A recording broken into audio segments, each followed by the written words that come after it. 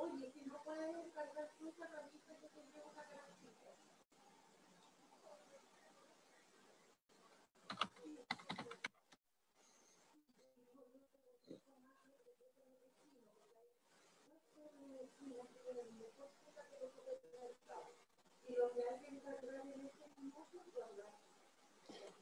Buenas tardes. Quiero partir saludando a todas, todos, todes los asistentes a este foro que nos están siguiendo y están eh, participando tanto en esta plataforma Zoom como en Facebook y en las otras redes sociales que, de la Facultad de Filosofía y Humanidades de la Universidad de Chile para dar inicio a una nueva versión del taller de política internacional organizado por eh, estudiantes de posgrado de los programas de estudios latinoamericanos y de un conjunto de otras universidades en América Latina y en, eh, en Europa. Quiero saludar a todos, quiero agradecerles a los estudiantes este eh, esfuerzo y esta labor de coordinación y de, y de compromiso con eh, los procesos y los temas que están ocurriendo en América Latina como parte de nuestros procesos de construcción de un conocimiento ah, local y políticamente situado. No un conocimiento escéptico, sino un conocimiento cada vez más comprometido. Eh, quiero agradecer a Sebastián Michel, a Pilar Lizárraga, por su voluntad, por su compromiso en participar. Quiero decirles que para nosotros, en el Centro de Estudios Culturales Latinoamericanos, Bolivia está desde nuestra fundación, hace 26 años atrás, eh, al lado de nuestro corazón. Y por, porque muchos de los académicos que, trabajamos en el SECLA tenemos vínculos eh, muy cercanos, muy próximos con los procesos políticos bolivianos desde hace muchas décadas atrás. Y además porque en lo personal, yo creo, hay un dicho que en Bolivia circula cada cierto tiempo que dice que Bolivia se adelanta a los procesos políticos, sociales eh, eh, del resto de América Latina.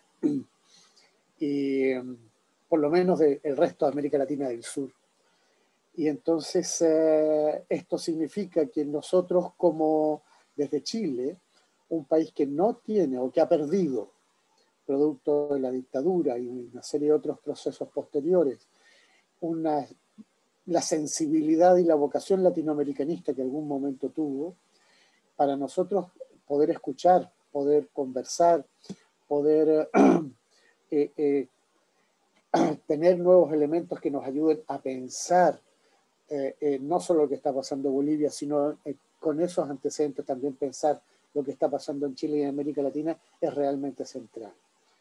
Eh, por lo tanto, quiero eh, enfatizar que no se trata de un taller y una reunión en la cual queramos simplemente escuchar, sino que desde mi perspectiva personal, estoy hablando ah, como director del Centro de Estudios Culturales Latinoamericanos, esto es un tema que tiene que ver con las proyecciones estratégicas también de nuestro país y de nuestra inserción en el concierto latinoamericano que desde nuestro centro estamos tratando de impulsar eh, fuertemente.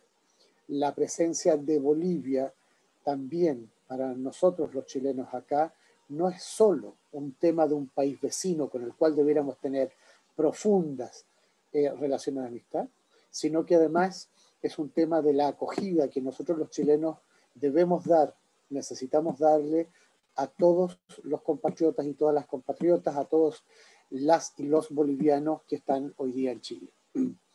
Eh, hay un desafío de construir una sociedad mucho más diversa, un desafío de construir una sociedad mucho más tolerante y uh, las ciudadanas y los ciudadanos, las compañeras y los compañeros bolivianos y bolivianas que están aquí, así como de Colombia, de Venezuela, de Perú, eh, eh, de República Dominicana, de Haití, etcétera, son un factor que para nosotros es central en la perspectiva de pensar un país más diverso, más inclusivo ah, y más igualitario. más digno también, porque la lucha por la dignidad hoy día es para nosotros también un tema central. No quiero alargarme, quiero de nuevo agradecerles y, decirles que ah, ojalá podamos continuar con todas estas conversaciones eh, y en algún momento poder invitarlos y tenerlos acá. Muchas gracias, Pilar. Muchas gracias, Sebastián, Matías, Valentina, Gabriel, Afchin, Lucas, Cassandra, que son el equipo maravilloso que ha organizado esta reunión. Gracias. Gracias, profesor. Eh, gracias por su eh, introducción a este foro, jornada que vamos a tener hoy. Eh, me tomaré unos breves minutos antes de cederle la palabra a nuestros invitados y al resto de los miembros del taller para hacer un alcance histórico respecto a los acontecimientos inmediatos en Bolivia. El foro, este segundo foro lo hemos titulado El destino de Bolivia, crisis, rearme y reverberaciones del movimiento al socialismo. Es el segundo, pues hace más de tres meses nos reunimos para hablar de los alcances regionales e internacionales de la vida chilena al socialismo a sus 50 años. En el primer foro del Taller de Política Internacional desde América Latina, Repercusiones y Tensiones de la Vida Chilena al Socialismo, nos acompañaron Mariano Saborowski y eh, Valeria Coronel. Allí nos detuvimos a pensar cómo en esos mil días que transformaron la política de las izquierdas continentales, su nivel de agencia y su elaboración programática. Un gobierno a todas luces y fundamental para estudiar el devenir de la militancia progresista y, por otro lado, el devenir de los gobiernos nacionales y populares en nuestra América. Un proceso inolvidable, el de la Unidad Popular, tan inolvidable como el momento donde el movimiento al socialismo, el MAS, con Evo Morales como presidente y Álvaro García Linera como vicepresidente, llegaron al, Palacio Quemado tras el apoyo electoral expresado el 18 de diciembre de 2005. Así, con casi 54% de los votos, se inició un proceso de transformación radical en el país hermano, que duraría prácticamente 15 años, interrumpidos por un golpe de Estado llevado a cabo por las fuerzas retardatarias el 20 de noviembre de 2019. El país que recibió Morales, líder indígena y sindical, estaba marcado por la inestabilidad política, con una serie de, de sucesivos cambios presidenciales los primeros años del siglo XXI. Dicho proceso es ejemplificado por la Guerra del Gas en 2003 con manifestaciones de trabajadores, campesinos y mineros. Arrastra, eh, eh, dichas manifestaciones se arrastraron hasta 2005, cuando en el marco de, este, de, esta, de estas movilizaciones se llama a generales anticipadas en diciembre de ese año.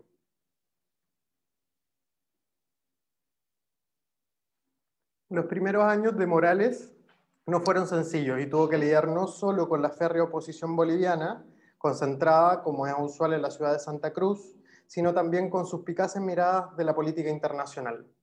Pero entre sus logros de gestión entre 2005 y 2009, según los datos de la CELAC, se pasó de un PIB de 9 mil millones de dólares a 40 mil millones de dólares.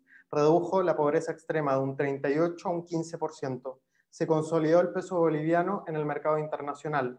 Redujo prácticamente a la mitad el desempleo y se aumentó el salario mínimo los índices de analfabetismo pasaron de un 15 a un 3%, se, se nacionalizaron los hidrocarburos y servicios esenciales, además de un aumento de la inversión en, infraestructura pública y en capital humano. El MAS promovió un cambio constitucional iniciado el 2 de julio de 2006 con la elección de miembros de la Asamblea. El producto de ese trabajo fue ratificado el 25 de enero de 2009.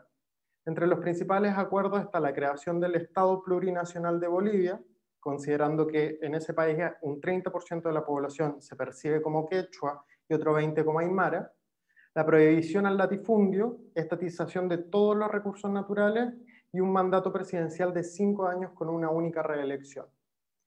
Ante lo último, el 21 de febrero de 2016 se realizó un referéndum constitucional para modificar la posibilidad de reelecciones el 51% de las y los bolivianos manifestaron su oposición. Este podría ser el gran bache, que, insisto, podría, que habilitó a las fuerzas de derecha para desconocer el resultado del 20 de octubre de 2019, cuando Morales iba por su cuarto mandato.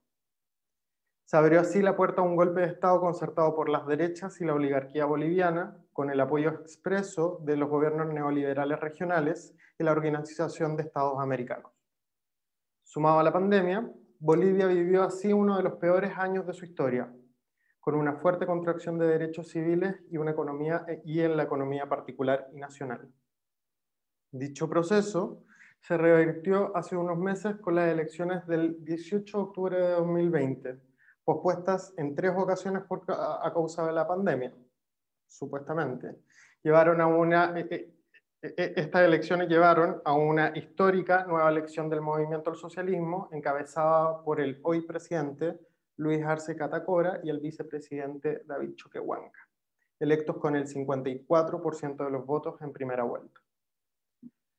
El taller de política internacional desde América Latina es un espacio donde se reflexiona sobre los acontecimientos actuales con una fuerte mirada hacia el pasado, con los hechos que estructuran el devenir histórico de las sociedades a nivel mundial, teniendo presentes los diversos órdenes geopolíticos.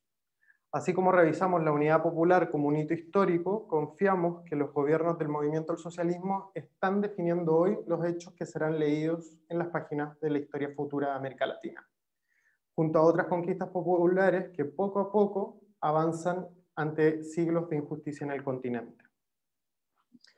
Bueno, eh, ante todo lo expuesto anteriormente, quiero agradecer nuevamente a los invitados de esta conversación, Pilar Lizárraga y Sebastián Mitchell, agradecerle al Centro de Estudios Culturales Latinoamericanos SECLA, donde se aloja este taller, Álvaro, Cristian y Magdalena del equipo de comunicaciones de la Facultad de Filosofía y Humanidades de la Universidad de Chile, ya las y los miembros del taller que hoy harán las preguntas dirigidas a los invitados. Cassandra Meléndez, Afshin Irani, Gabriel González, Valentina Gutiérrez y Lucas Reynoso. Finalmente, hoy compartiré la moderación de esta jornada con Gabriel Rojas, participante del taller y estudiante del Magíster en Ciencias Políticas de nuestra Casa de Estudio. Bueno, eh, espero no haberme extendido mucho. Así que eh, vamos a partir eh, con las palabras de nuestros invitados. Eh, presentarles a Sebastián. Sebastián Mitchell Hoffman es abogado e ingeniero agrícola.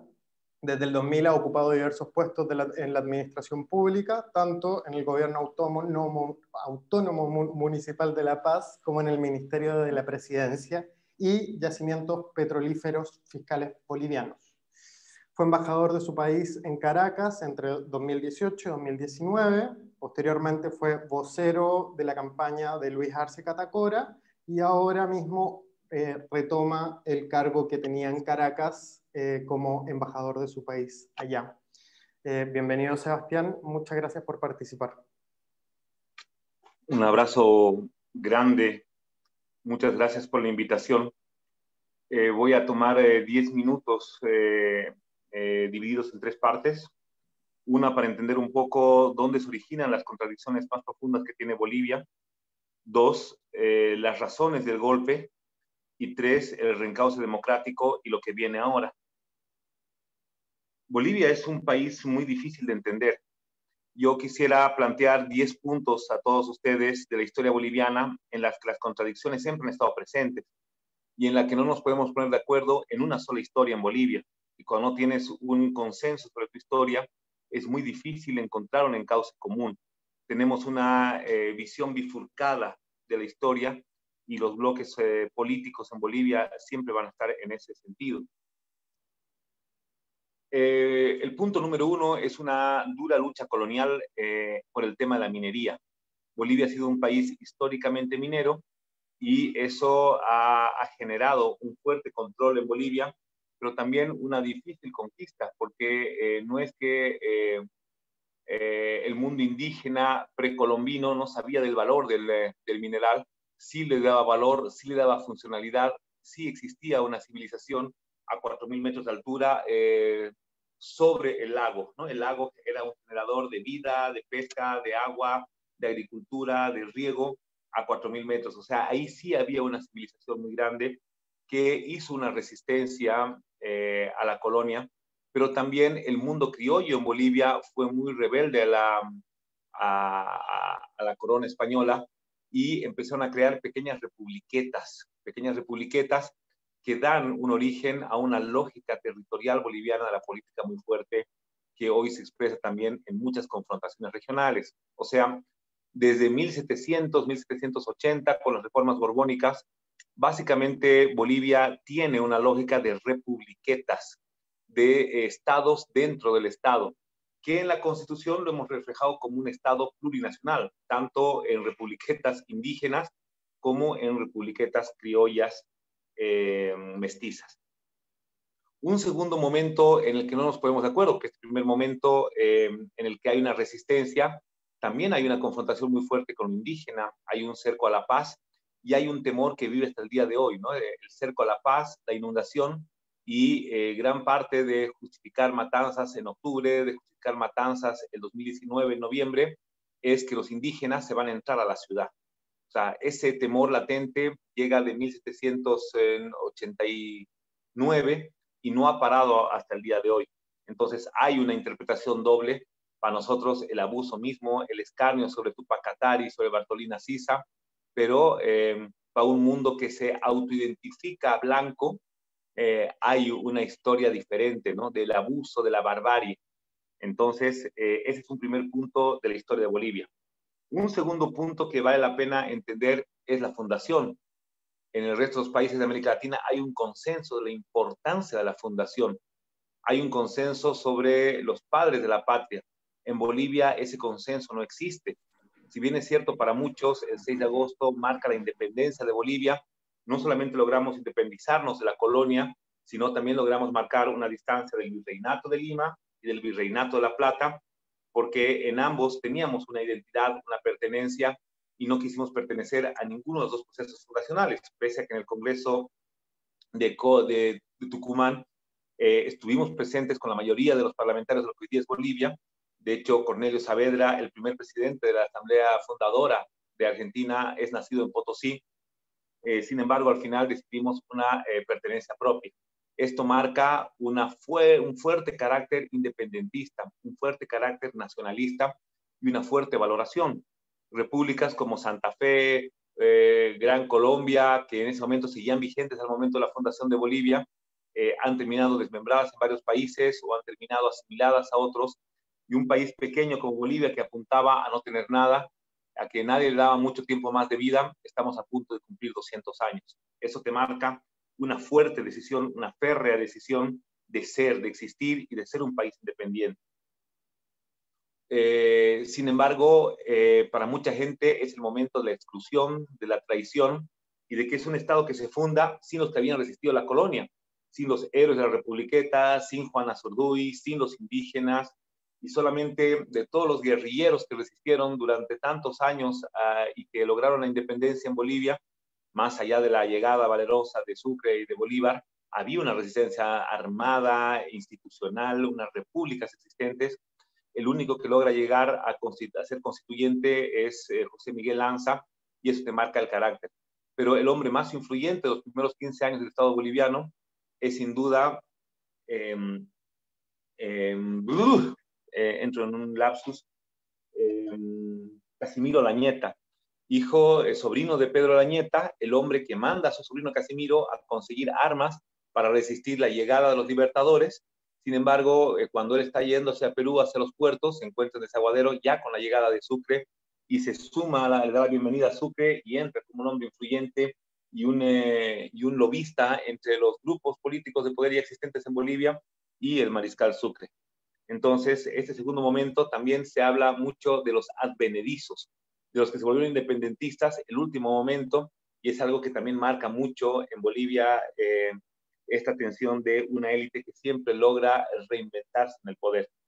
El tercer momento duro para Bolivia es sin duda la guerra del eh, Pacífico, la pérdida de la salida al mar, el enclaustramiento, y eh, para muchos es un tema pendiente de resolver, es un tema que necesita Bolivia para terminar de despegar, y para otros es un tema de que hay que resolverlo con tratados de libre comercio. Es otro momento de la historia que no se mide muy bien, pero es el momento de la historia de la construcción de la institucionalidad política de Bolivia. Acabando la guerra del Pacífico, se lanza la convención y existen dos partidos, el liberal y el conservador, recién a 1880, un poco casi con 20 años atrasado de lo que fue Colombia, de lo que fue el resto de las fundaciones de los partidos liberales, recién llega a Bolivia en 1880. Sin embargo, eh, ahí también se da una clara relación de la política con la economía. Los que logran imponerse en 1880 es el Partido Conservador, porque era un momento del auge de la plata y los líderes del Partido Conservador son hombres dueños de las minas de plata y por consiguiente una visión muy vinculada a su empresa.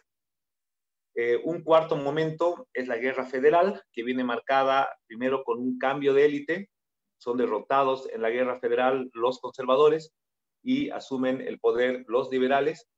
Y eh, aquí hay un primer choque que va a estar latente hasta el día de hoy. En 1900, ya 120 años atrás, que eh, el tema de la disputa que ha terminado por muertos también ha sido el federalismo un tema que hoy parece resurgir con mucha fuerza, sobre todo encarnado en el discurso de Camacho. Pero también una, una segunda gran pérdida. Tuvimos en ese momento la guerra del Acre con eh, filibusteros, pero que una vez que los filibusteros eh, terminan de ganar un territorio, el ejército brasilero se hace de todo lo que es el Acre, el Mato Grosso, justo en el momento en que la industria del caucho para la industria automotriz empieza a generar eh, bastante más dividendos y es el mismo momento que nos vemos obligados a tener un acuerdo eh, de la guerra del Pacífico cuando nos ponen el papel para firmar mientras estábamos en un eh, conflicto bélico al norte del país. Como les digo, es un país de muy difícil existencia, pero con una voluntad muy férrea de existir. Y es en ese sentido que marca eh, la, la, el periodo. Este acuerdo eh,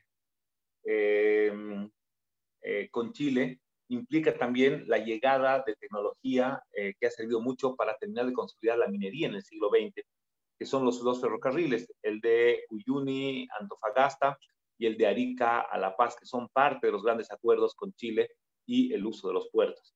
Un tema que sigue pendiente y que, como eh, decía el profesor al comenzar la exposición, hace que dos países que están tan juntos tengamos un futuro, un destino mucho más común del que pensamos y que tenemos que encontrar mucho más cosas que nos van a unir, las que nos van a separar.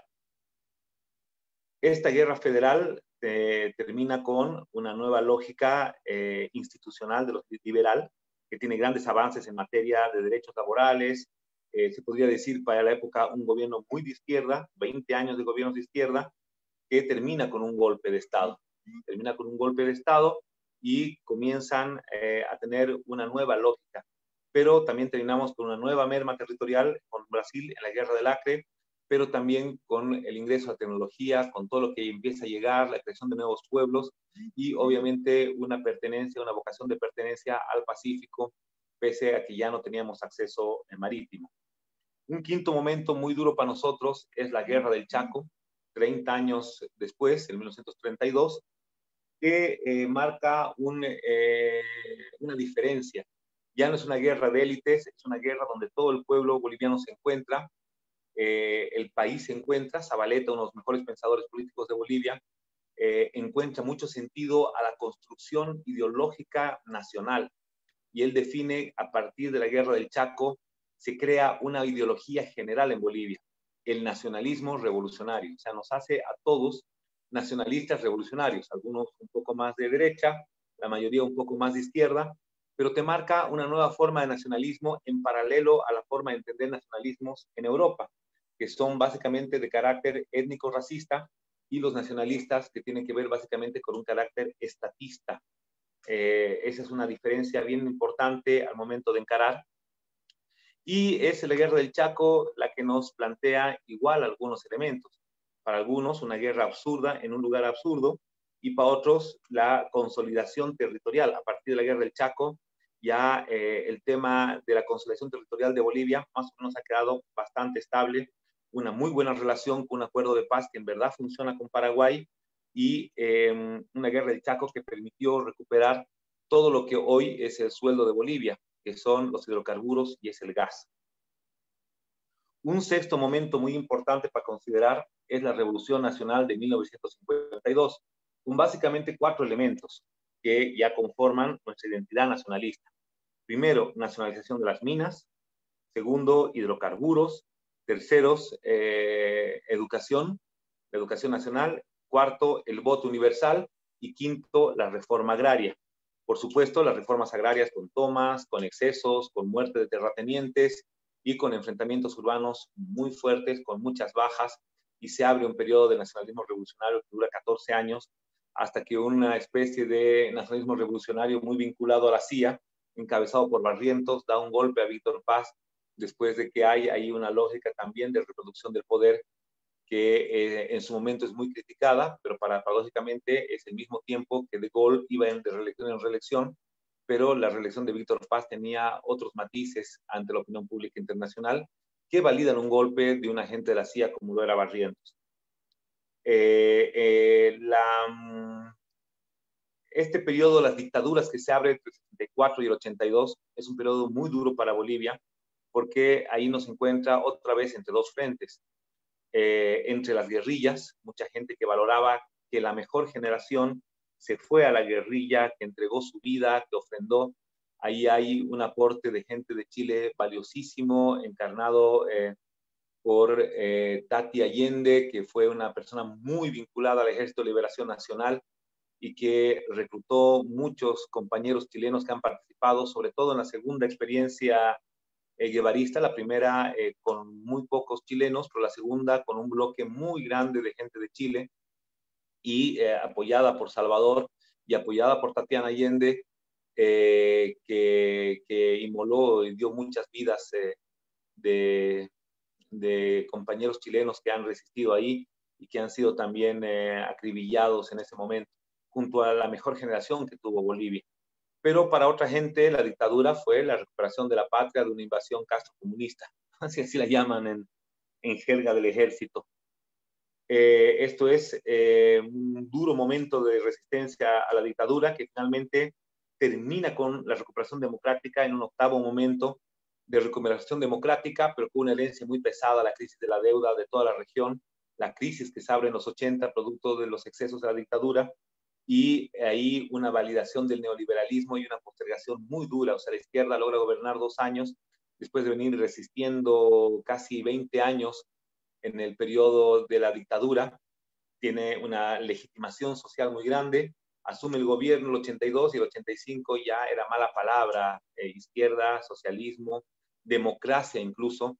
Y es por eso que nos hacen unas reformas estructurales que dañan mucho eh, el principal eje económico del país, que era la minería, que al sujeto histórico minero, que era un sujeto revolucionario, ideologizado, organizado, lo dejan desmantelado, lo relocalizan, lo despiden y terminan la mitad en las periferias en un cinturón de pobreza muy grande o yéndose al Chapare y el Chapare comienza a rearticularse. La Chapare es el trópico, se vuelven cultivadores de fruta, de coca, de bananas empiezan a generar una nueva lógica de donde sale Evo Morales. O sea, no es casual, no es una generación espontánea, hay toda una trayectoria, toda una movilización de todo este criterio, de toda esta acumulación ideológica que hay en la minería desde principios de siglo, desde los primeros sindicatos en el periodo liberal que negocian el ingreso, la salud, eh, en fin, hay toda una vertiente que va ah, creciendo desde ese momento.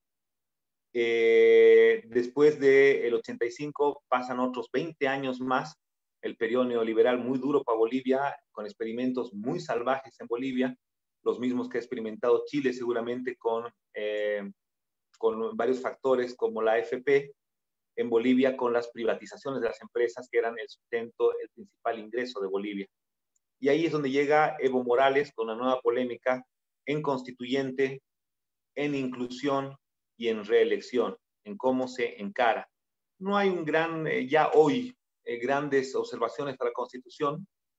Eh, incluso la inclusión se pretende que sea como el único factor importante, pero el crecimiento económico en materia económica del Estado, gracias a decisiones políticas como la nacionalización de actores estratégicos, de sectores energéticos, aéreos, monopólicos, eh, por lo menos unos cuatro sectores estratégicos eh, en los que Bolivia ha empezado a generar muchos ingresos. Eh, el monopolio, no monopolio, pero por lo menos la empresa más importante de Bolivia en telecomunicaciones, nacionalizada Entel, la empresa de hidrocarburos y gas, la empresa aérea, las empresas eléctricas, por lo menos esos cuatro monopolios de los siete, ocho eh, posibles estratégicos, eh, los ha logrado el Estado y eso le ha generado al Estado una capacidad muy fuerte de invertir y si quieres verlo más cercano a, un modelo de inversión pública nacional eh, más keynesiano que otra cosa, ha generado un crecimiento de Bolivia que nunca había visto en estos últimos 14 años. Pero sí ha habido una fuerte reacción a la reelección eh, que es lo que ha logrado generar en algunos sectores de la sociedad una validación a la movilización.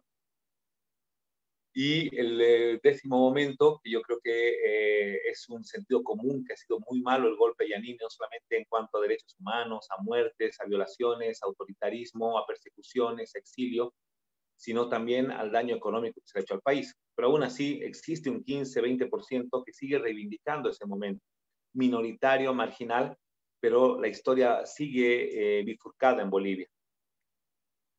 ¿Qué pasó en el golpe? Básicamente, eh, un sector que no encontraba la posibilidad de gobernar por la vía democrática empieza a tener un apunte muy fuerte, un riesgo muy fuerte por redes sociales que intoxicó a la sociedad boliviana con mucho odio.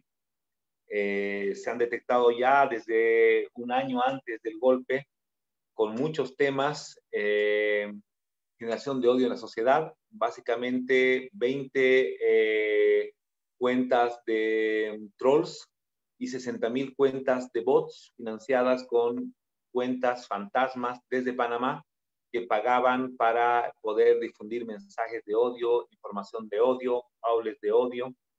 Un segundo elemento central, eh, temas valóricos, han empezado a ingresar temas muy fuertes como el tema aborto, eh, sobre todo el tema aborto, y eh, de repente nosotros íbamos a un paso más acelerado del que la sociedad misma estaba queriendo avanzar.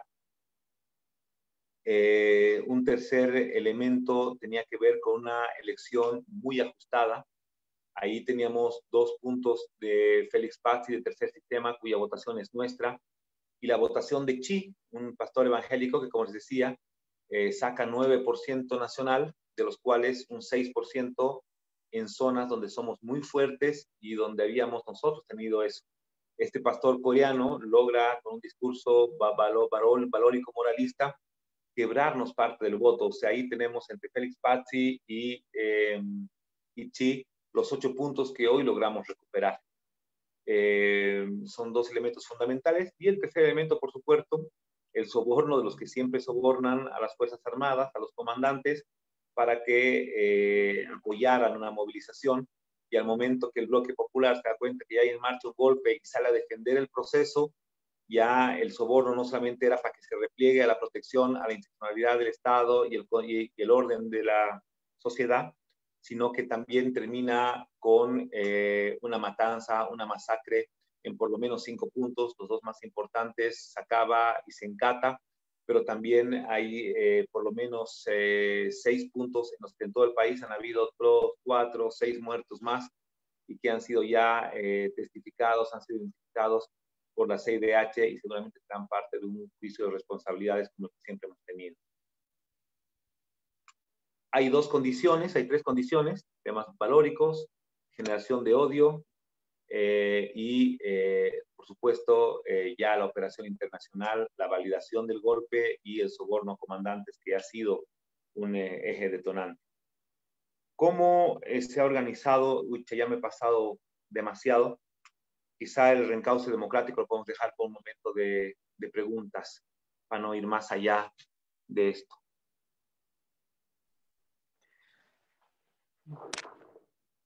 Gracias, Sebastián. Eh, estuvo impecable el repaso histórico respecto a, la Bolivia contemporánea. Eh, bueno, paso ahora a presentar a Pilar. Eh, Pilar Lizárraga Aranibar es investigadora y directora de la comunidad de estudios Jaina miembro del comité directivo de Claxo, es economista y geógrafa, coordinadora del grupo de Autonomías, Territorios y Memorias, Geopolítica en Disputa. ha publicado trabajos de investigación en el área de geografía agraria, autonomía, constitucionalismo emancipatorio, descolonización, trabajos que son vinculados a la comprensión de los procesos contemporáneos de la lucha social boliviana. Es parte también del Consejo Editorial y coordinadora del boletín Diversitas y coordinadora de la Cátedra Abierta de Pensamiento Crítico Revolucionario que trabaja con jóvenes al sur de su país. Eh, Pilar, muchas gracias por participar eh, y bienvenida. Muchas gracias, Matías. Saludar a todas y a todos. Un saludo muy especial a los compañeros eh, de SECLA, quienes están estableciendo este espacio para poder construir de una manera interactiva un conocimiento colectivo que contribuya a lo que es eh, la comprensión de nuestros procesos en la patria grande, como dice Martín. Me parece que la convocatoria de un espacio como este nos permite eh, empezar a, eh, o seguir más bien tejiendo estas comprensiones epistemológicas y ontológicas que involucran pensar el devenir de la política. En este sentido, la convocatoria nos pone elementos centrales en términos de lo que ha implicado, digamos, no solamente los procesos históricos en una perspectiva de eh, la historiografía occidental, sino además en términos de quién escribe esto desde la resistencia y desde la lucha de, los pueblos, ¿no? A mí me parece de que pensar el proceso boliviano es definitivamente eh, empezar a construir una otra eh, perspectiva epistemológica y ontológica para comprender los procesos y pensar desde este eh, desde la lucha y desde las resistencias, también la comprensión de lo que implicaría pensar una geopolítica en términos de esta patria. Yo creo que el proceso boliviano a lo largo de su historia, eh, como tú muy bien lo has dicho, Matías, en una eh, etnografía bastante interesante y resumida de lo que ha implicado nuestro proceso de construcción del Estado plurinacional, ha permitido construir algunos temas que son fundamentales y que de alguna manera tiene que ver con este, esta palabra que ustedes utilizan en la convocatoria y que me ha parecido muy interesante, las eh, reverberaciones, ¿no? Es decir, cómo podemos ampliar además sonoramente esto que ha implicado algunos núcleos que nos permiten generar eh, desde las resistencias, eh, eh, no solamente conceptualmente, sino construcciones institucionales. Y es aquí que Bolivia quiero plantear para complementar el análisis que ustedes hacen, tanto Sebastián como tú, Matías, ha producido una cuestión fundamental que tiene que ver con, primero, el quiebre de lo que implica eh, pensar eh, la política desde esa perspectiva occidental. ¿no? Bolivia, el 2005, ha dado luz a lo que es el constitucionalismo emancipatorio, trayendo sobre todo como una cuestión radical de nuestra constitución, y eso les sirve a ustedes en un momento de debate sobre lo que es el proceso constituyente en Chile, eh, lo que implica los derechos colectivos y territoriales como una posibilidad de expresar justamente aquello que René Zabaleta decía eh, en los momentos fundacionales, se expresa eh, justamente en lo que es el sujeto indígena originario campesino. ¿no? Bolivia, en su proceso formativo, en las palabras de René Zabaleta, eh, se caracteriza por ser una sociedad abigarrada. Eso, implica que existe la coexistencia de diversas formas de hacer, de pensar y construir la política la economía y la cultura, pero que no están conexos, pero que sin embargo se alimentan en la reproducción subalterna uno del otro, ¿no? Una construcción hegemónica. Entonces, en ese sentido, en Bolivia, el 2005, con el proceso constituyente, se produce un quiebre a esta idea de pensar una ciudadanía de corte individual basada en los derechos de libertad, en libertad e igualdad, para posibilitar la, eh, construcción de lo que es eh, una ciudadanía con... Eh, eh, sustantivando lo colectivo y lo territorial. El sujeto colectivo va a ser el que de alguna manera nos va a traer al, centro de la política esta cuestión eh, que tiene que ver con un pacto social emancipatorio que rompe la idea del yo ciudadano individual para pensar en el yo ciudadano colectivo en relación eh, y en su vínculo en, un pacto social que involucra también al ciudadano individual y esto va a generar, digamos, horizontes que no son de exclusión de inclusión, porque Boaventura nos plantea en, sus perspectivas también teóricas que cuando hablamos de inclusión excluimos a alguien y el proceso boliviano de lo que trata es de más bien de expresar esas diversidades. Entonces, este es un elemento sustancial que tiene que ver justamente con estas acumulaciones y con estas resonancias políticas y sociales a lo largo de esta historia corta eh, desde el 2005 y que ha permitido rearticular estas tensiones profundas que se han planteado en las lecturas históricas que ustedes hacen. Planteo esto porque esto es lo que va a sustentar la posibilidad de la resistencia del golpe al golpe para poder eh, rearticular otro momento, creo yo, fundacional que nos permite retomar la conducción de un Estado y de una sociedad que durante esos 11, casi 12 meses ha sido golpeada por los grupos neofascistas en eh, esta perspectiva del golpe de Estado, ¿no? Un golpe de Estado que, como bien lo han dicho ustedes, ha vaciado eh, o ha intentado vaciar de sentidos eh, la institucionalidad estatal, pero no ha logrado entrar a los núcleos centrales de lo que ha implicado la construcción eh, que se ha logrado constitucionalizar y expresar en la Constitución Política del Estado y que va por el tema de la preexistencia y las posibilidades del sujeto y su acumulación histórica, ¿no?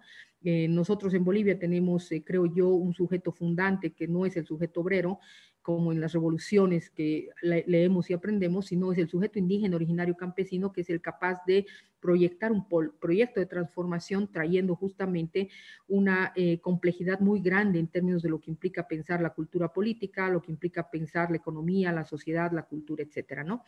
Entonces, este golpe de Estado no logra pasear de sentidos a este sujeto y a, la, y a, lo sustantivo que se ha marcado dentro de, este pacto social. Y eh, yo creo que eh, una vez que se produce el golpe y hay un rearme de este, del bloque histórico, se puede encontrar más bien una fuerza de resistencia y de lucha que logra conquistar por la vía democrática la posibilidad de reconducción del país. Pero esto conlleva obviamente también algunos elementos que son fundamentales. Muchos, entre paréntesis, eh, plantean de que este golpe de Estado ha sido parte eh, de una expresión de una crisis eh, que se estaría dando en Bolivia y que tendría que ver con el tema de la democracia, ¿no? Esa es la narrativa, digamos, fácil que se ha instalado y naturalizado desde una academia también que, le ha hecho un flaco favor a los grupos golpistas y neofascistas en contra de las luchas emancipatorias, ¿no? Nosotros planteamos, como decía Sebastián, de que este tema del golpe de Estado en realidad es un tema de una geopolítica imperial que mira la necesidad de romper el orden establecido en la patria grande y donde Bolivia es incómoda para estos procesos en términos de justamente la generación de alternativas que se estaban construyendo para eh, posibilitar, digamos, una rearticulación de un, de un bloque en realidad ya eh, en términos geopolíticos que tienen un epicentro en Bolivia, eh, Venezuela y otros países también que forman parte, digamos, y que son eh, en, en, resonancia, van juntamente con eh, este avance y este liderato de vanguardia que podría tener Bolivia, ¿no? Entonces, esta, esta idea de pensar los quiebres vinculados al golpe de Estado nos hacen mirar también la necesidad de repensar, digamos, cómo la propia derecha y los grupos neofascistas se apropian de una manera tan fácil de lo que implicado toda esta narrativa are eh, que se va construyendo eh, a lo largo de nuestra historia y que tiene que ver con la lucha por la democracia, ¿no?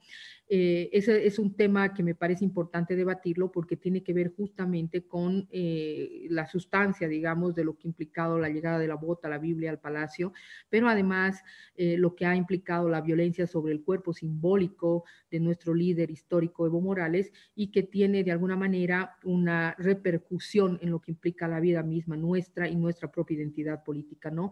El ir contra el, el cuerpo de Evo simbólicamente implica ir contra lo que ha implicado eh, la reivindicación de lo que es eh, justamente esta idea de la lucha colonial, racista, eh, que se va instalando y que logra de alguna manera empezar a construir alternativas epistémicas, ontológicas, pero sobre todo políticas materiales, ¿no?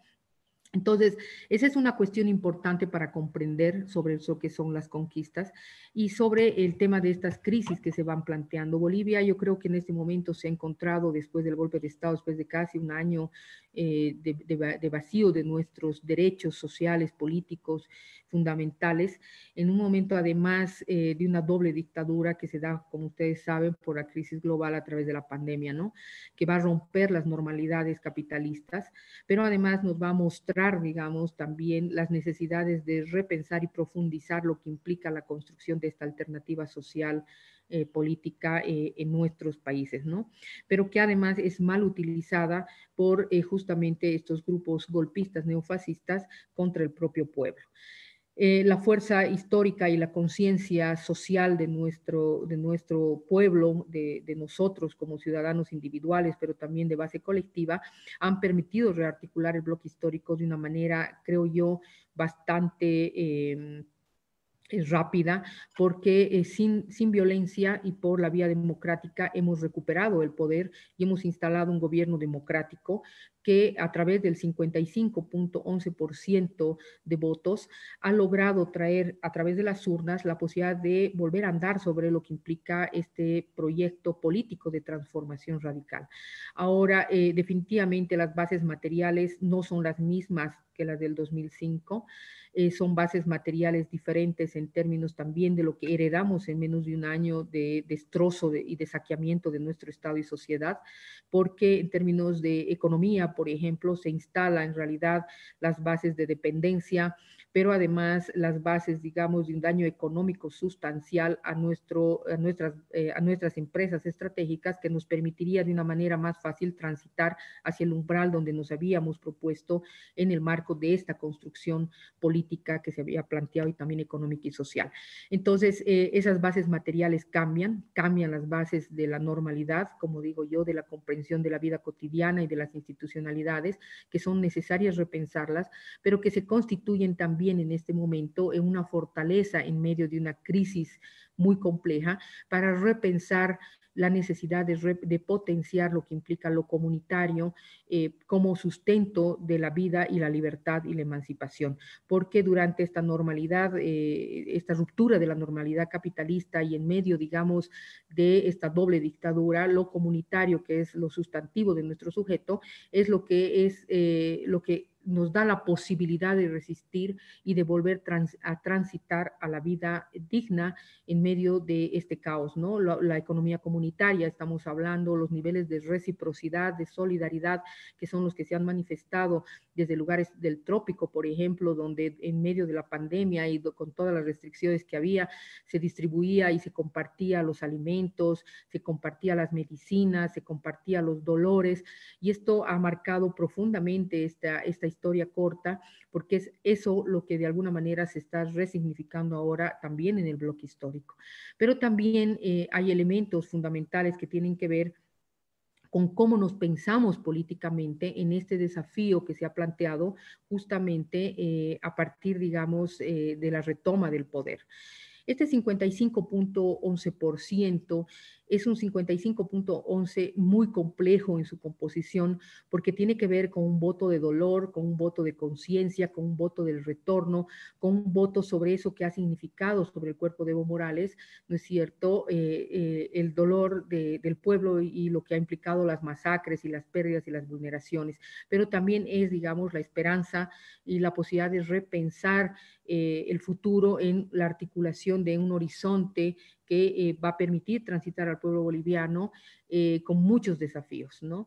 Yo ahí quiero marcar uno que me parece interesante pensarlo y que tiene que ver justamente con eh, un fenómeno político de alta densidad, digo yo, porque em, cuando nosotros nos imaginamos los anteriores 15 años, casi 15 años, miramos cómo eh, a través de esta figura simbólica y política que implica Evo Morales en su fuerza identitaria, pero además eh, em, de sujeto que va a articular esta acumulación histórica de rebeldías, eh, se logra articular un poder simbólico con un poder político material que, que está vinculado a la eh, a la naturaleza misma del Estado, ¿no?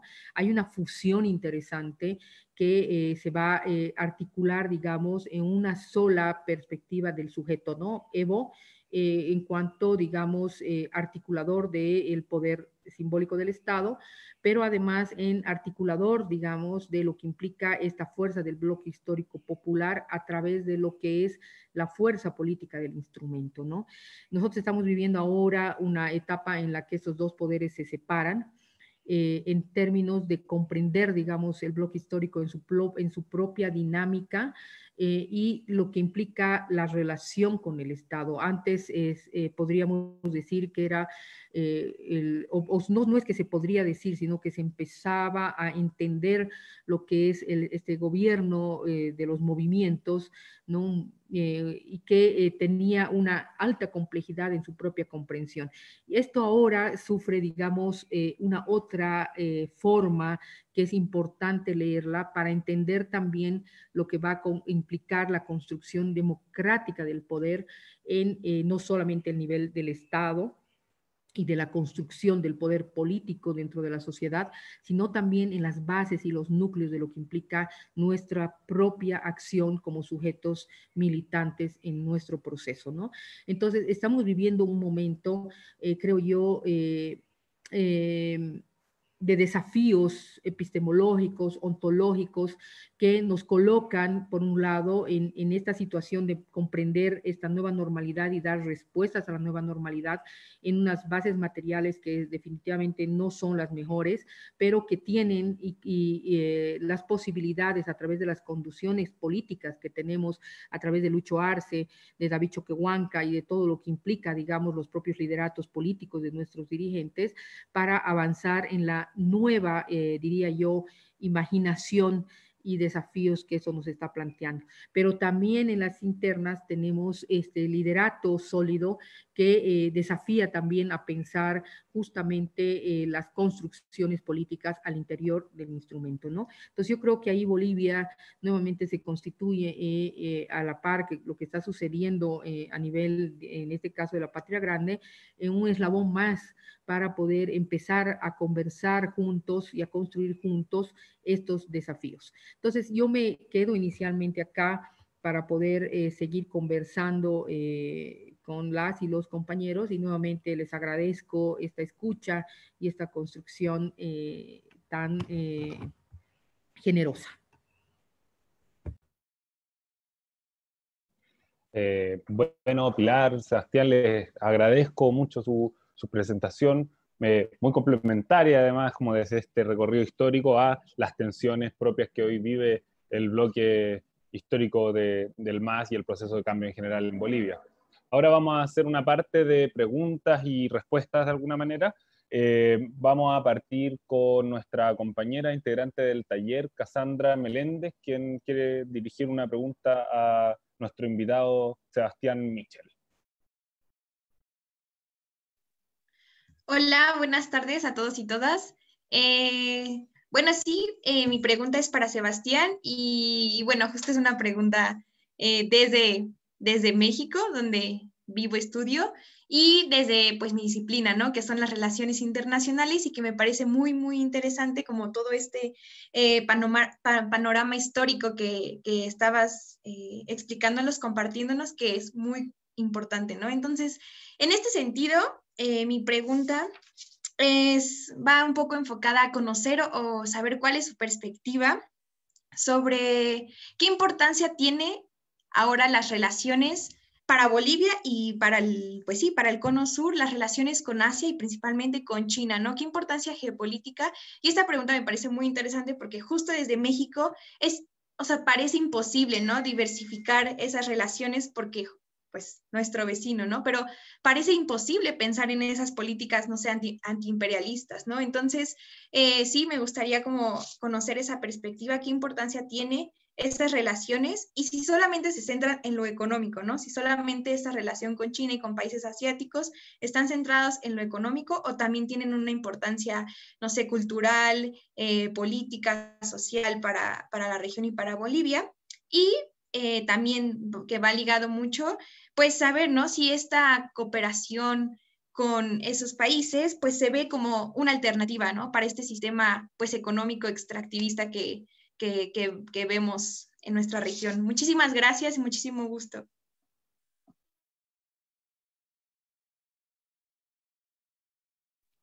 Qué gusto, Cassandra, pero lo que me planteas es un tema muy complejo de modelo de relacionamiento eh, contemporáneo muy fuerte. A ver, primero una posición de Bolivia, buena relación con absolutamente todos los países y no tener solamente relaciones afines ideológicamente. En ese sentido, hemos sido muy respetuosos siempre. Si tú ves eh, la conformación de UNASUR y la posición de Bolivia para conformar UNASUR, ha sido eh, siempre el, la, la, unanimidad, ni siquiera el consenso, para que países como Colombia en ese momento, eh, yo diría Colombia el único, un poco Perú, no se sientan excluidos de la conformación de UNASUR ni las decisiones y puedan estar todos presentes. En ese sentido, la posición de Bolivia siempre ha sido una buena relación con todos y no aceptamos condiciones. No aceptamos que eh, no podamos hablar con Irán, no aceptamos que no pudiéramos poder hablar en ese momento con Libia, no aceptamos que no podamos hablar con Venezuela, tenemos buenas relaciones con todos. Segundo, esa buena relación sobre todo con países del continente, sobre todo con Sudamérica, pero sobre todo con los países vecinos, Brasil, Argentina, Paraguay, Chile, Perú, para nosotros son relaciones profundamente importantes. Aclarado eso, paso a lo más complicado que me has preguntado, que es una relación con China. Y eso tiene que ver ya con una historia de los imperios, con países que han tenido durante miles de años, que son pueblos muy antiguos y que han tenido una vocación expansiva tanto en lo militar, tanto en lo cultural, tanto en lo económico, eh, tanto en lo religioso. Eh, y hoy día estamos viviendo eso, o sea, el que a todos nos guste el sushi y el que a todos nos guste el feng shui, eh, habla de que su expansión cultural es muy fuerte, como lo es la de los Estados Unidos, como es Inglaterra, como lo es Francia, como lo es Japón, como lo es China, y casualmente son los países que están generando la mayor cantidad de producción y de excedentes.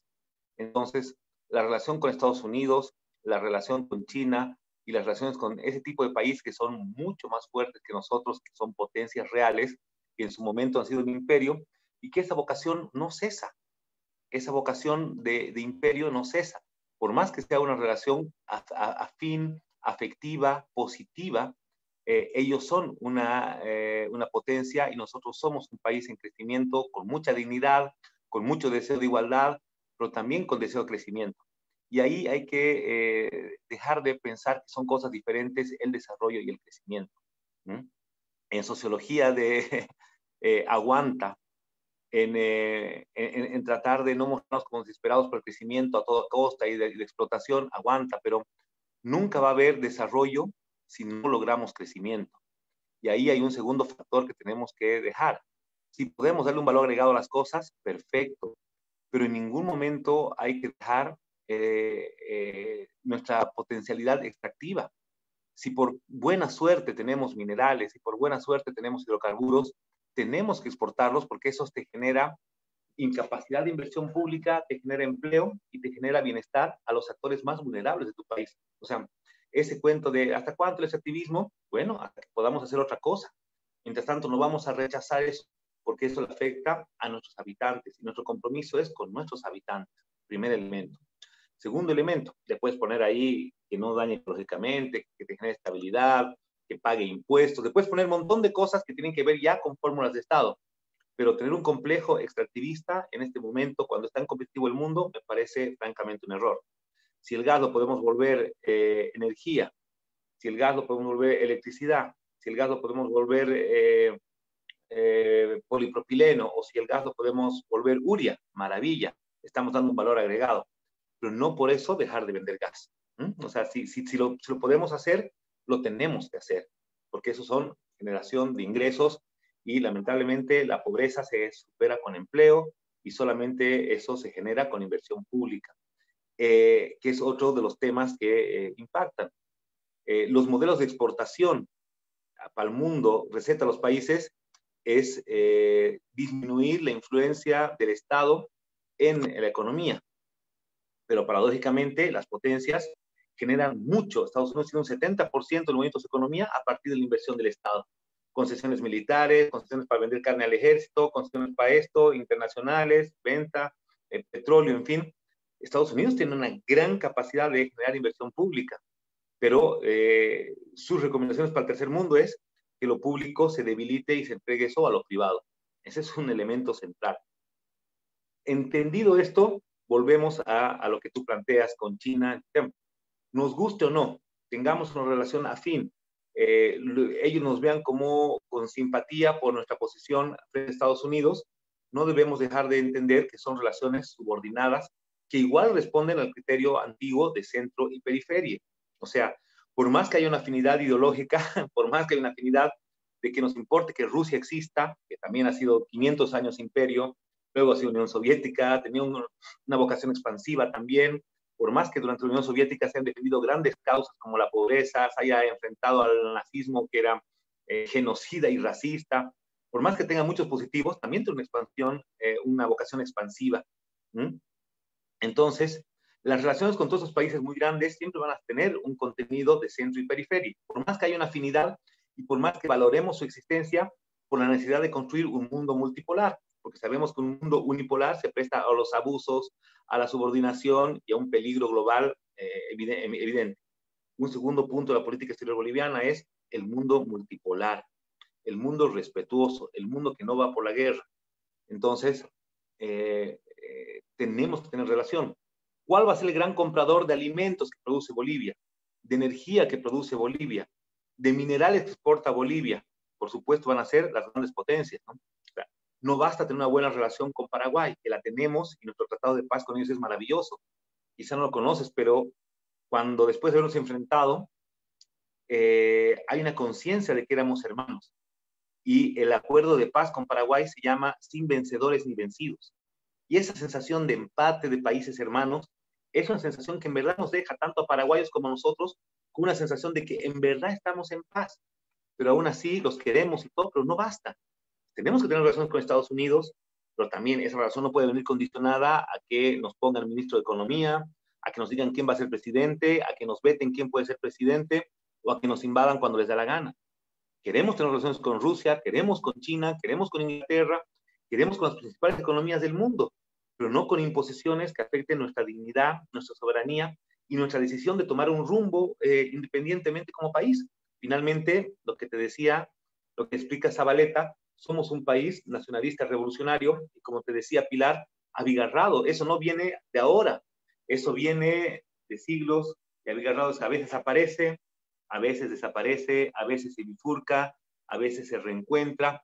Y el concepto abigarrado, que es un concepto fundamental para entender a Bolivia en lo nacional popular, es pues un concepto eh, que, que, te aclara no vamos a permitir nunca que nos vengan a imponer. No nos gustan que nos digan qué hacer podemos estar equivocados, ¿no? Pero nos gusta tomar nuestras propias decisiones y arreglar nuestro propio camino. Que a veces es bueno y a veces es malo, somos también decididos.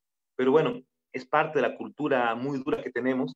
Y cuando yo te hacía un recuento, te mostraba primero que vivimos permanentemente en conflicto y segundo, que hay contradicciones como la regional, como el racismo, que son contradicciones de mucho tiempo de pelea por los recursos naturales no es un tema que se inventó Evo el 2006, eso ya viene, la lucha por los recursos naturales, el qué hacer con el excedente, es una tradición histórica casi fundacional de Bolivia, de su momento fundacional. Entonces, de hecho, nos fundamos porque teníamos el Cerro Rico de Potosí y no queríamos que eso se vaya ni a Buenos Aires ni a Lima. Entonces, eh, el, el, tema de luchar por el excedente en Bolivia es una razón fundacional. Entonces, eh, en eso está. Y espero con todo este desorden haberte un poco explicado nuestra relación con China, la importancia que tiene para nosotros, pero también entender que con China, con Rusia, como con Estados Unidos, siempre va a haber una relación de dependencia, porque es la relación de un país grande, con muchas posibilidades, con muchos mercados posibles, y nosotros con pocos compradores posibles.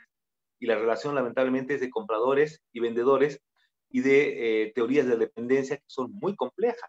Ahora, ¿hay una relación imperial con Estados Unidos? Hay, como lo hay con muchos otros países. Ahora, ¿eso significa que hay que subordinarse? Por supuesto que no.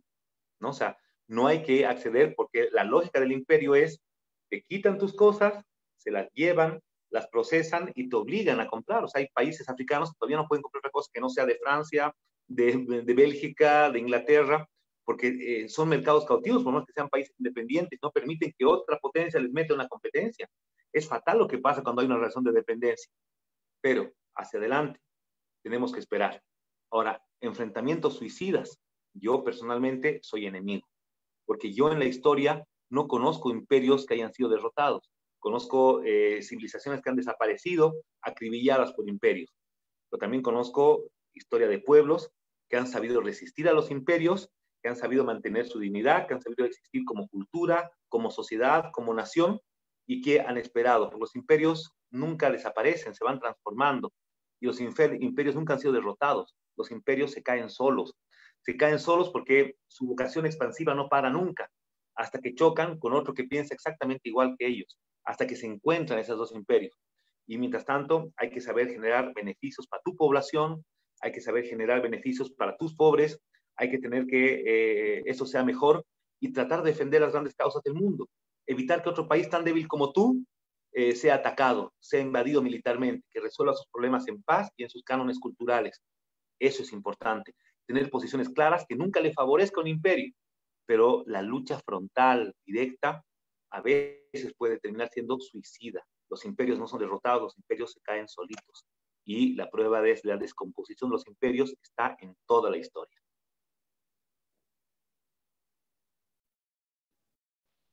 muchas gracias Sebastián y a Cassandra, obviamente, por la, pregunta. Eh, a propósito de este carácter abigarrado que mencionaba Pilar y que también mencionaba Sebastián, y a propósito de, lo, de las republiquetas en, Bolivia, Afchin Irani, un compañero también de nuestro taller, quiere hacerle una pregunta a Pilar.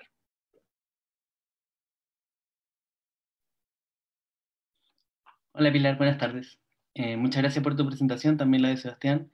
Muy buenas ambas. Em, bueno, va directamente a mi pregunta. Eh, en las elecciones del año pasado, la derecha intentó mostrar un país dividido por la corrupción del MAS y unificado por la intervención de todas estas derechas eh, separadas. esa claramente fue una derrota, se vio en las elecciones, pues puesto que no fueron capaces de instalar ni grandes temas en el gobierno de facto de Añez, ni de formar alianzas entre ellos. Eh, sin embargo, es cierto que la cuestión territorial juega un papel importante y sobre todo en, el caso de Santa Cruz, eh, donde la combinación entre una economía exportadora y la autonomía regional permite a la derecha profundizar y explorar una grieta ideológica en la población. Entonces, mi pregunta es si existe algún tipo de reflexión eh, del gobierno o del MAS en esta, en esta segunda este segundo gobierno, de decirlo de alguna forma, para enfrentar la cuestión del estatus de Santa Cruz a la cuestión regional o simplemente va a ser una disputa más em, por los sentidos comunes dentro de, la región? Bueno, a mí me parece eh, central esta cuestión que pones porque tiene que ver justamente y también se refleja en lo que implica eh, la construcción, digamos, eh, de un proyecto político con enormes tensiones, ¿no? Yo creo que el concepto de lo abigarrado justamente eh, podemos también leerlo en lo que es este bloque del Oriente o el bloque de la Media Luna, que se ha fundado justamente en un proceso de resistencia al proyecto emancipatorio de los pueblos, ¿no? Estamos hablando de Beni, Pando, Santa Cruz y Tarija, sobre todo, que son los que conforman al inicio, digamos, un proyecto separatista que además tenía como núcleo central la pelea frontal metafóricamente contra el indio, ¿no? simbólicamente estamos hablando, y eh, que nace además por eh, ese desplazamiento que se da en términos de lo que son los resultados del 2005, ¿no? Una expulsión del, núcleo de la política hacia los espacios eh, subnacionales, donde se empieza a articular en realidad un proyecto regional, un proyecto federalista que implicaba poner en cuestión el poder de lo nacional, pero no entendido de este, de este nacional, digamos, que está escindido de lo, de lo que son las múltiples comunidades eh, o los sentidos comunitarios de estos nacionalismos que se fundamentan en el bloque del sujeto histórico, ¿no? Entonces, eh, los resultados de estas elecciones, bueno, el golpe de Estado nace en realidad eh, desde una perspectiva, además de disputa entre el Oriente y el Occidente, nace en el Oriente, quien fundamenta, pero además lideriza el golpe de Estado, es un sujeto que tiene su base en el Oriente, del Comité Cívico, quienes han sido los fundadores, además de toda una eh, narrativa eh, racista y colonial contra lo que implica las bases sustanciales de nuestro proyecto plurinacional. Entonces, pero además es en el Oriente que tú tienes la mega diversidad societal, ¿no? Estamos hablando, diría yo, del 90% eh, de los pueblos eh, de base comunitaria eh, de tierras bajas, donde podemos encontrar mojeños, trinitarios, ayoreos, chiquitanos, ¿no? Pero además desde donde se fundamenta una cuestión muy importante que tiene que ver con el proyecto de la autonomía y la autodeterminación de los pueblos, ¿no? Este concepto de la preexistencia que en este caso Sebastián habla de las republiquetas y que tienen que ver en realidad con esta em, esta, esta, estrategia política de pensar en la reconstitución de lo que son eh, las formas de vidas ancestrales de los pueblos eh, de tierras bajas y que después va a vincularse, digamos, a lo que implica ya más la clave andina, ¿no? Occidental. Entonces, aquí eh, hay una cuestión de tensión latente porque es en los, en los territorios de los pueblos indígenas donde vas a encontrar además estos recursos que son, eh, mm, como también ha dicho Sebastián, la base de pensar el modelo extractivista, ¿no? Estás hablando del petróleo, pero además, digamos, eh, eso en la parte del Chaco, pero además estás hablando del oro, estás hablando eh, de lo que son los recursos eh, para ver el tema de la exportación, es el tema de la soya, o sea, todo lo que es los, los agronegocios. Entonces, estamos hablando de complejos productivos con una base extractiva muy importante, donde estos territorios se van a constituir también en territorios en disputa, ¿no? Desde lo que implica la perspectiva de las élites. Entonces, este es un elemento eh, muy complejo, pero que además se va a reflejar en las propias, eh, en los resultados de las elecciones, ¿no? Nosotros tenemos con este 55.11% un país que está pintado más, o sea, son tres regiones que no se pintan de azul, de las nueve, seis regiones se han pintado de azul. Y eh, eh, digamos en términos departamentales, pero en términos provinciales, básicamente estamos hablando de más del 80% de pintado de azul. Entonces ahí tienes una complejidad en términos de pensar los gobiernos locales, eh, estas estrategias, ¿no? Entonces, ¿cómo se va a avanzar en este caso eh, para mirar, digamos, justamente eh, la conquista de ese espacio, digamos así? Es uno de los grandes desafíos que no se lo resolvió durante los primeros 15 años, porque más bien ahí se establecieron necesidades de, en el marco de la construcción de la hegemonía, pactos eh, políticos y también eh, sociales y económicos con estos actores, que fueron además los que traicionaron, digamos, eh, el, el, curso de nuestra historia, ¿no? Estamos hablando de los agroexportadores, y que son los que de alguna manera también se han sumado y han apoyado el golpe de Estado, ¿no? Entonces, esa complejidad es muy fuerte. Yo creo que estamos, eh, cuando miramos el Oriente, tenemos que entenderla en esa clave, ¿no? De coexistencia de sujetos, de coexistencia de proyectos, pero además eh, también en términos históricos, estamos hablando ahorita de la emergencia nuevamente de estas agendas regionalistas que cartográficamente en la nueva, eh, digamos, eh, perdón que repita, cartografía del poder político se van a expresar, ¿no? si antes hablábamos de sujetos, de personas, actores que participaban, digamos, de alguna manera en el espacio de la, de la política, la Asamblea Legislativa Plurinacional, ahora estamos hablando de pequeños bloques que se van constituyendo con proyectos que se, que se van nuevamente sustantivando con estas eh, visiones contrapuestas eh, de pensar el país, de pensar la economía, de pensar las relaciones sociales, pero además eh, en términos de lo que implica la disputa eh, sobre viejas agendas regionales, Oriente y Occidente, ¿no?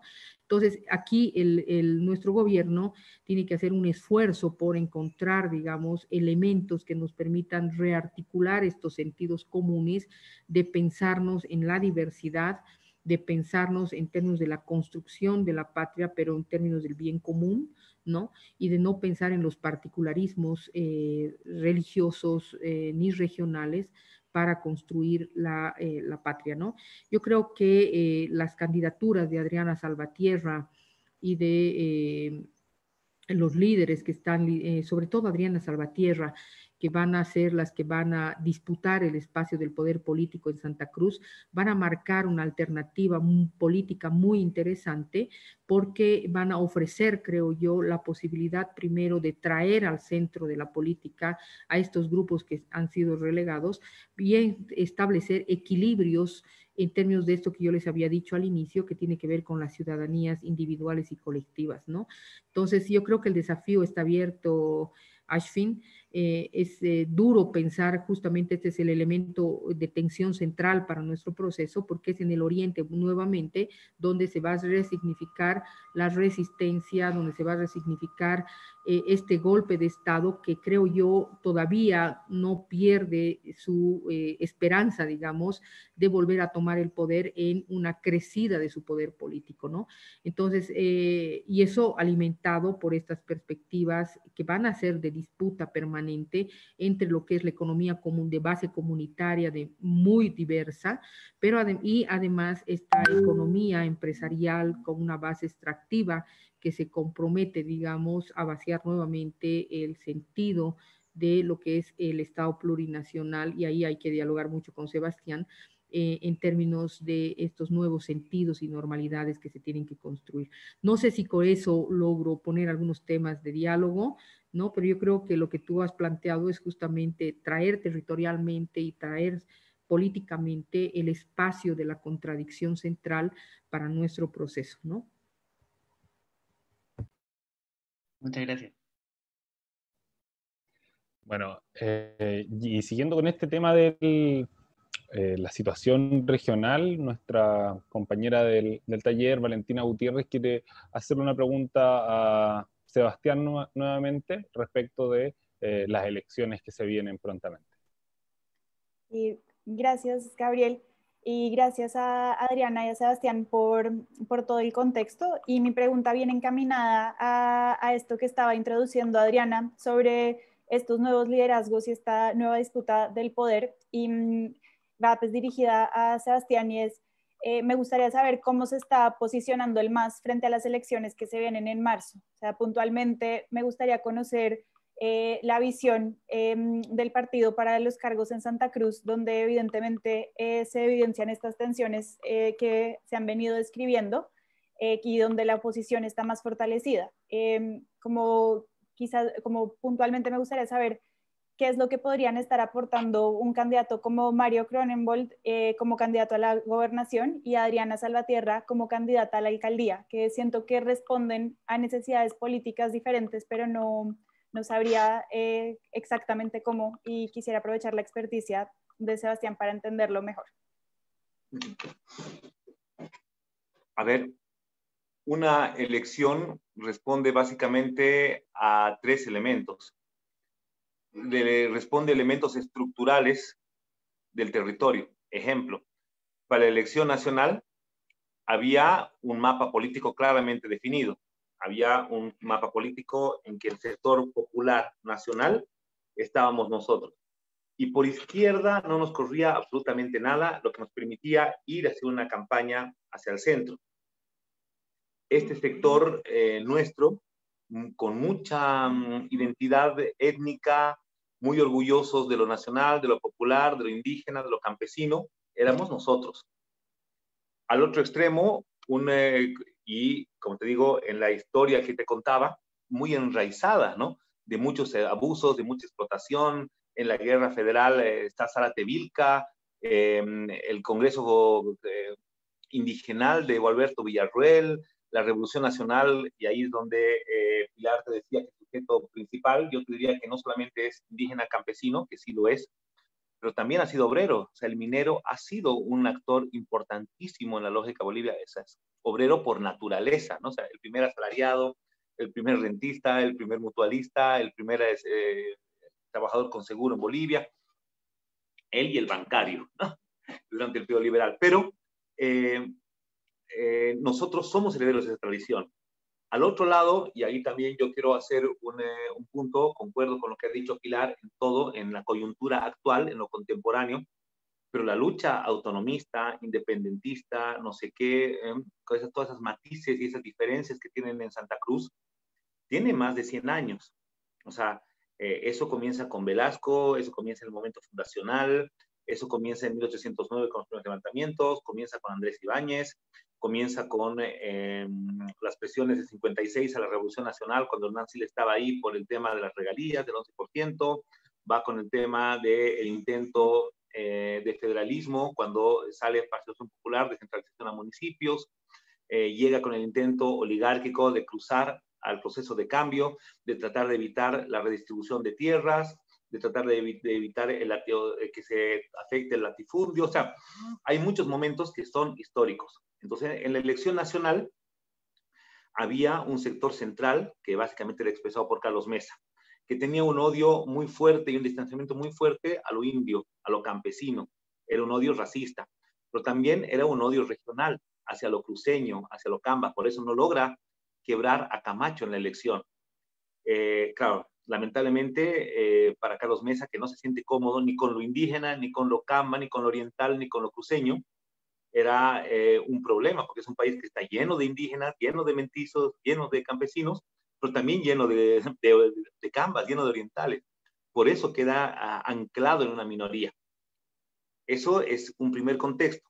Un segundo contexto tenía que ver con la capacidad económica, resultados y un gobierno muy malo. Y el tercer contexto, a la coyuntura del día a día. A esas tres cosas responde una campaña.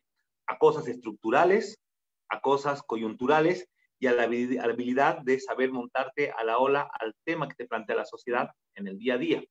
En este contexto, las historias en la elección que vienen ahora van a ser claras. ¿Dónde están los, eh, las elecciones? Son 380 municipios, pero yo dejaría que ¿Dónde se juega todo. Primero, se juega todo en la elección de La Paz. La gobernación de La Paz, que va un diputado nuestro, Franklin Flores, con, mucha decisión, con mucha seriedad, un tipo muy serio, contra un líder campesino demasiado famoso y demasiado místico como Felipe Quispe el Maico. Ahí habrá que ver si la población va, va a apuntar por fortalecer el proceso de cambio o irse hacia una leyenda. La derecha en la gobernación de La Paz no tiene mucho por dónde jugar. Ellos pretenden corrernos esta vez por izquierda, dejando la derecha muy dura. Claro, ahí habrá que ver qué tanto en la derecha está su antimacismo, como para poder darle a Felipe Quispe un tipo que les puede ser mucho más complicado, pero también es su satisfacción de que el MAS no gane la gobernación de La Paz, que es fundamental para la gobernabilidad misma de Luis. O sea, tener estable una paz funcionando y no una paz bloqueando las instituciones es fundamental. Dos, la alcaldía del Alto, donde las lógicas orgánicas, las dirigencias han elegido a, Maquera como candidato a alcalde, dejando a una persona joven con mucha popularidad en los medios eh, por fuera. Y ella, en vez de permanecer en el MAS, decide ir por fuera. Habrá que ver qué tanto pesa el tejido social o qué tanto pesa la capacidad comunicacional o la presencia en los medios de nuestra otrora compañera. Eh, la tercera elección importante, la ciudad de La Paz. Gran parte del golpe estuvo porque la alcaldía de La Paz financiaba con alimento los puntos de bloqueo Pititas, todos sus funcionarios en comisión bloqueando todos los puntos, 7.000 personas bloqueando todos los puntos de la ciudad de La Paz, y hay que ver eh, eh, si ese aparato se vuelve a rearticular como volver a generar conflictos de gobernabilidad al Estado Nacional. O sea, eso es estar cercado en el lugar donde tú gobiernas. Es una elección importante. La de Cochabamba, es una elección importante.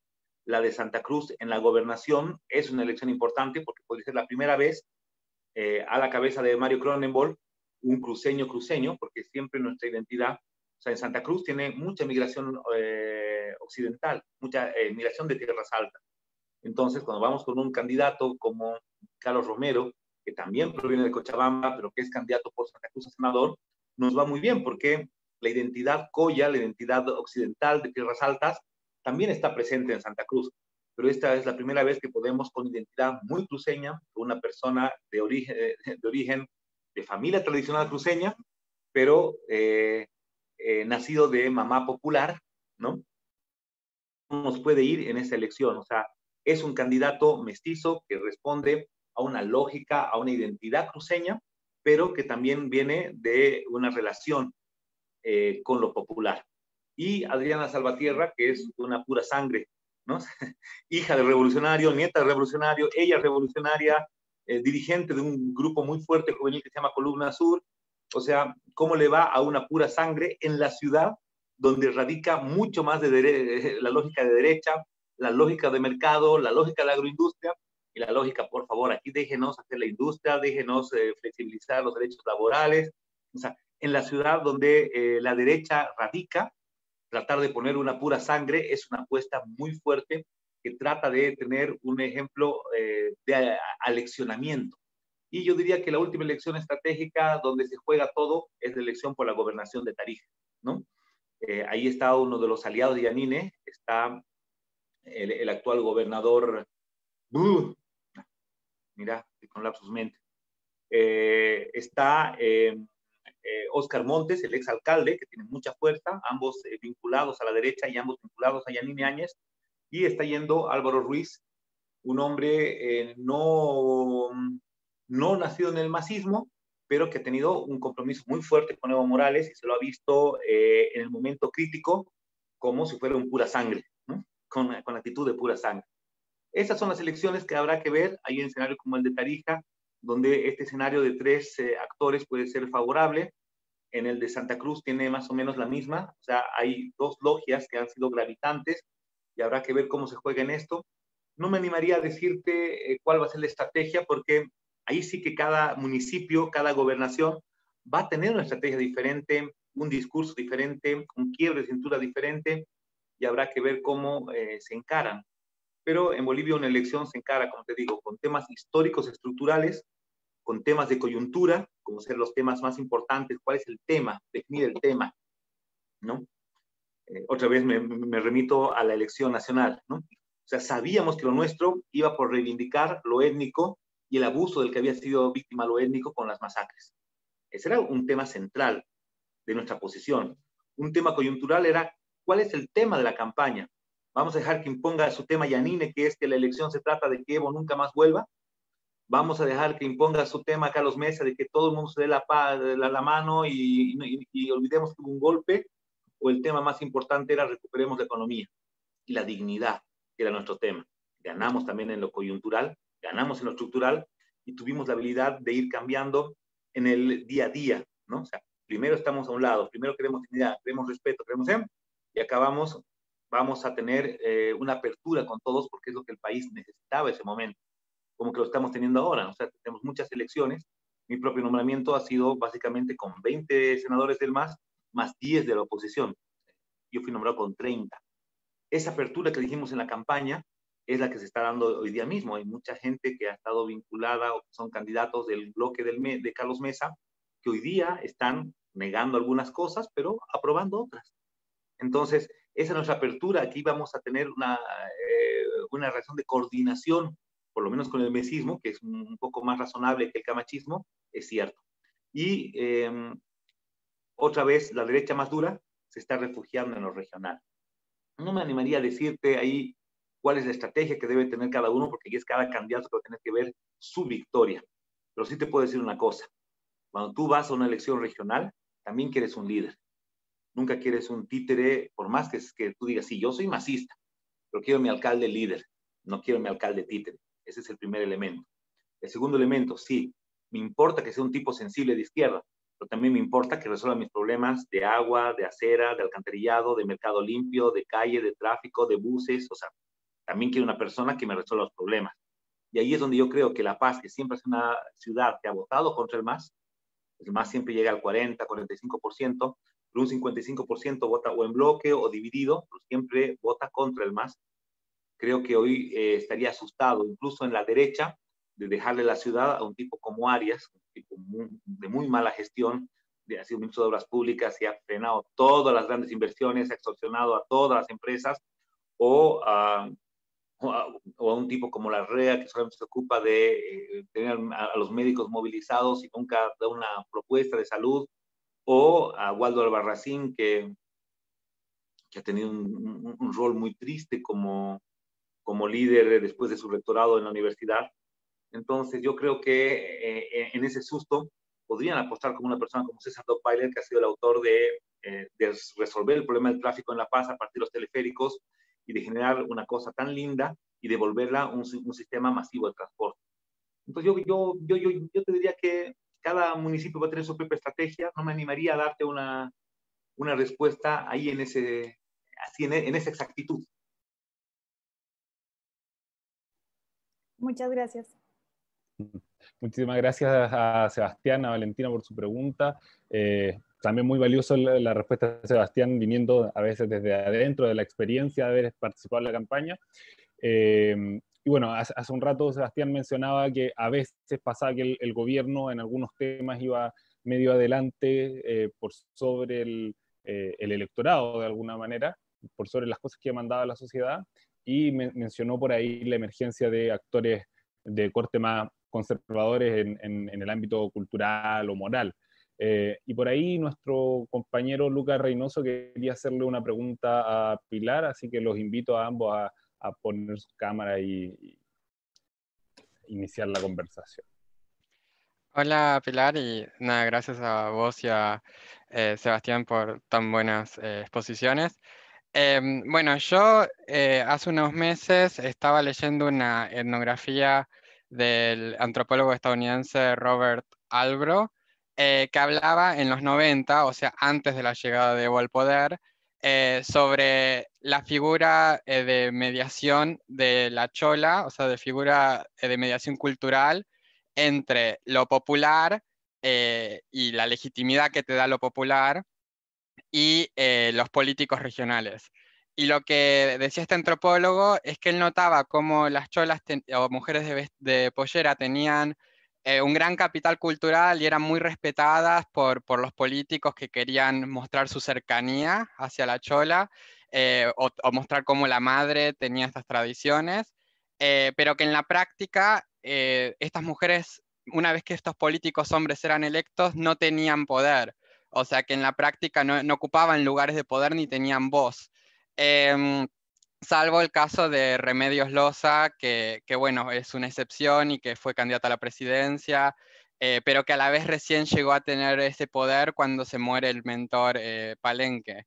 Em, y bueno, eso me, impactó y me preguntaba, bueno, pero después vino Evo, o sea, ¿qué pasó después eh, en cuanto a que cuando uno toma en cuenta que también siguiendo a Boaventura de Sousa, eh, hace un año tuve la oportunidad de, asistir a una de sus conferencias y él decía que la lucha contra el capitalismo o la dominación capitalista, patriarcal y colonial van juntas. Entonces no puedes luchar contra una sin luchar contra las otras dos. Em, y teniendo eso en cuenta, lo que uno ve con Bolivia desde afuera es que hubo obviamente muchos éxitos en cuanto a los excesos del capitalismo, o sea, ha habido una redistribución y mayor justicia social, ha habido mucho éxito en cuanto a la parte colonial, o sea, la descolonización del Estado, la creación del Estado plurinacional, pero al menos de afuera no me queda bien claro qué es lo que ha habido en cuanto a avances de género eh, o, el heteropatriarcado, o sea, tanto en diversidad sexual como en género. Y en ese sentido, yo realmente no sé, pero busqué eh, los ministros de Luis Arce.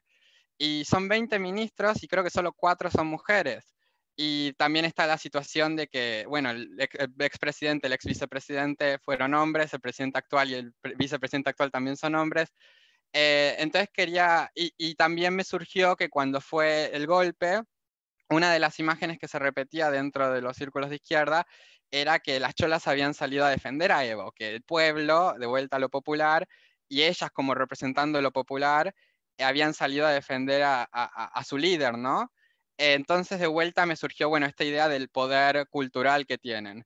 Pero bueno, quería preguntarte si, eh, o quería que me contaras más de que en qué sentís que ha habido avances en cuanto a la lucha contra el patriarcado eh, y la agenda de género y en qué sentís que todavía hay limitaciones. Y, y, te pregunto esto desde la perspectiva de Bolivia, pero también pensando en América Latina en general, ¿no? Porque creo que eh, al menos en mi experiencia con Argentina, em, también ha habido problemas. No me refiero al aborto, salió hace unos días, pero después de más de 12 años de gobierno supuestamente progresistas, ¿no? Eh, entonces, nada, quería que, que, nos contaras más al respecto. Y perdón por lo largo de la pregunta, pensé que iba a ser más corto.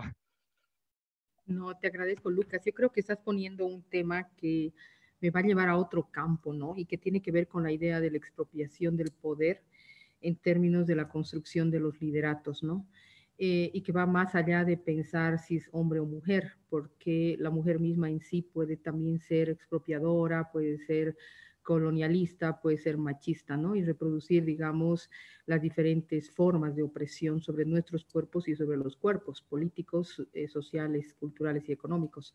Entonces, esta idea de pensar eh, el vínculo entre el representante, o sea, en este caso, entre el que es elegido para representar y la que va a ser representada, o el que va a ser representado, es fundamental. O sea, la pregunta yo la llevaría más bien a pensar cómo desde la experiencia boliviana logramos, eh, digamos, eh, transformar estas relaciones que son expropiadoras en las lógicas de la cultura política occidental y liberal, ¿no? Que van a reproducir eh, justamente esta idea del patriarcado, esta idea del colonialismo, del racismo, ¿no? Y eh, que muy bien Boaventura lo trabaja también desde lo que implica las epistemologías, pero también desde, eh, y esto te lleva a pensar eh, el tema de las culturas políticas y las formas de posición de, nosotras y ustedes y nosotros como sujetos, ¿no? Ahora, eh, yo creo que en esto hay una cuestión bien importante porque la figura de Evo implica eh, como decía yo en la primera parte de la intervención, una construcción simbólica que trabaja la idea del mandato extendido, ¿no? Es decir, hay un mandato político que se construye y que se le otorga en el momento simbólicamente a la figura del líder y que eh, conecta definitivamente el hacer eh, el hacer y el sentir también de lo que es la política, ¿no?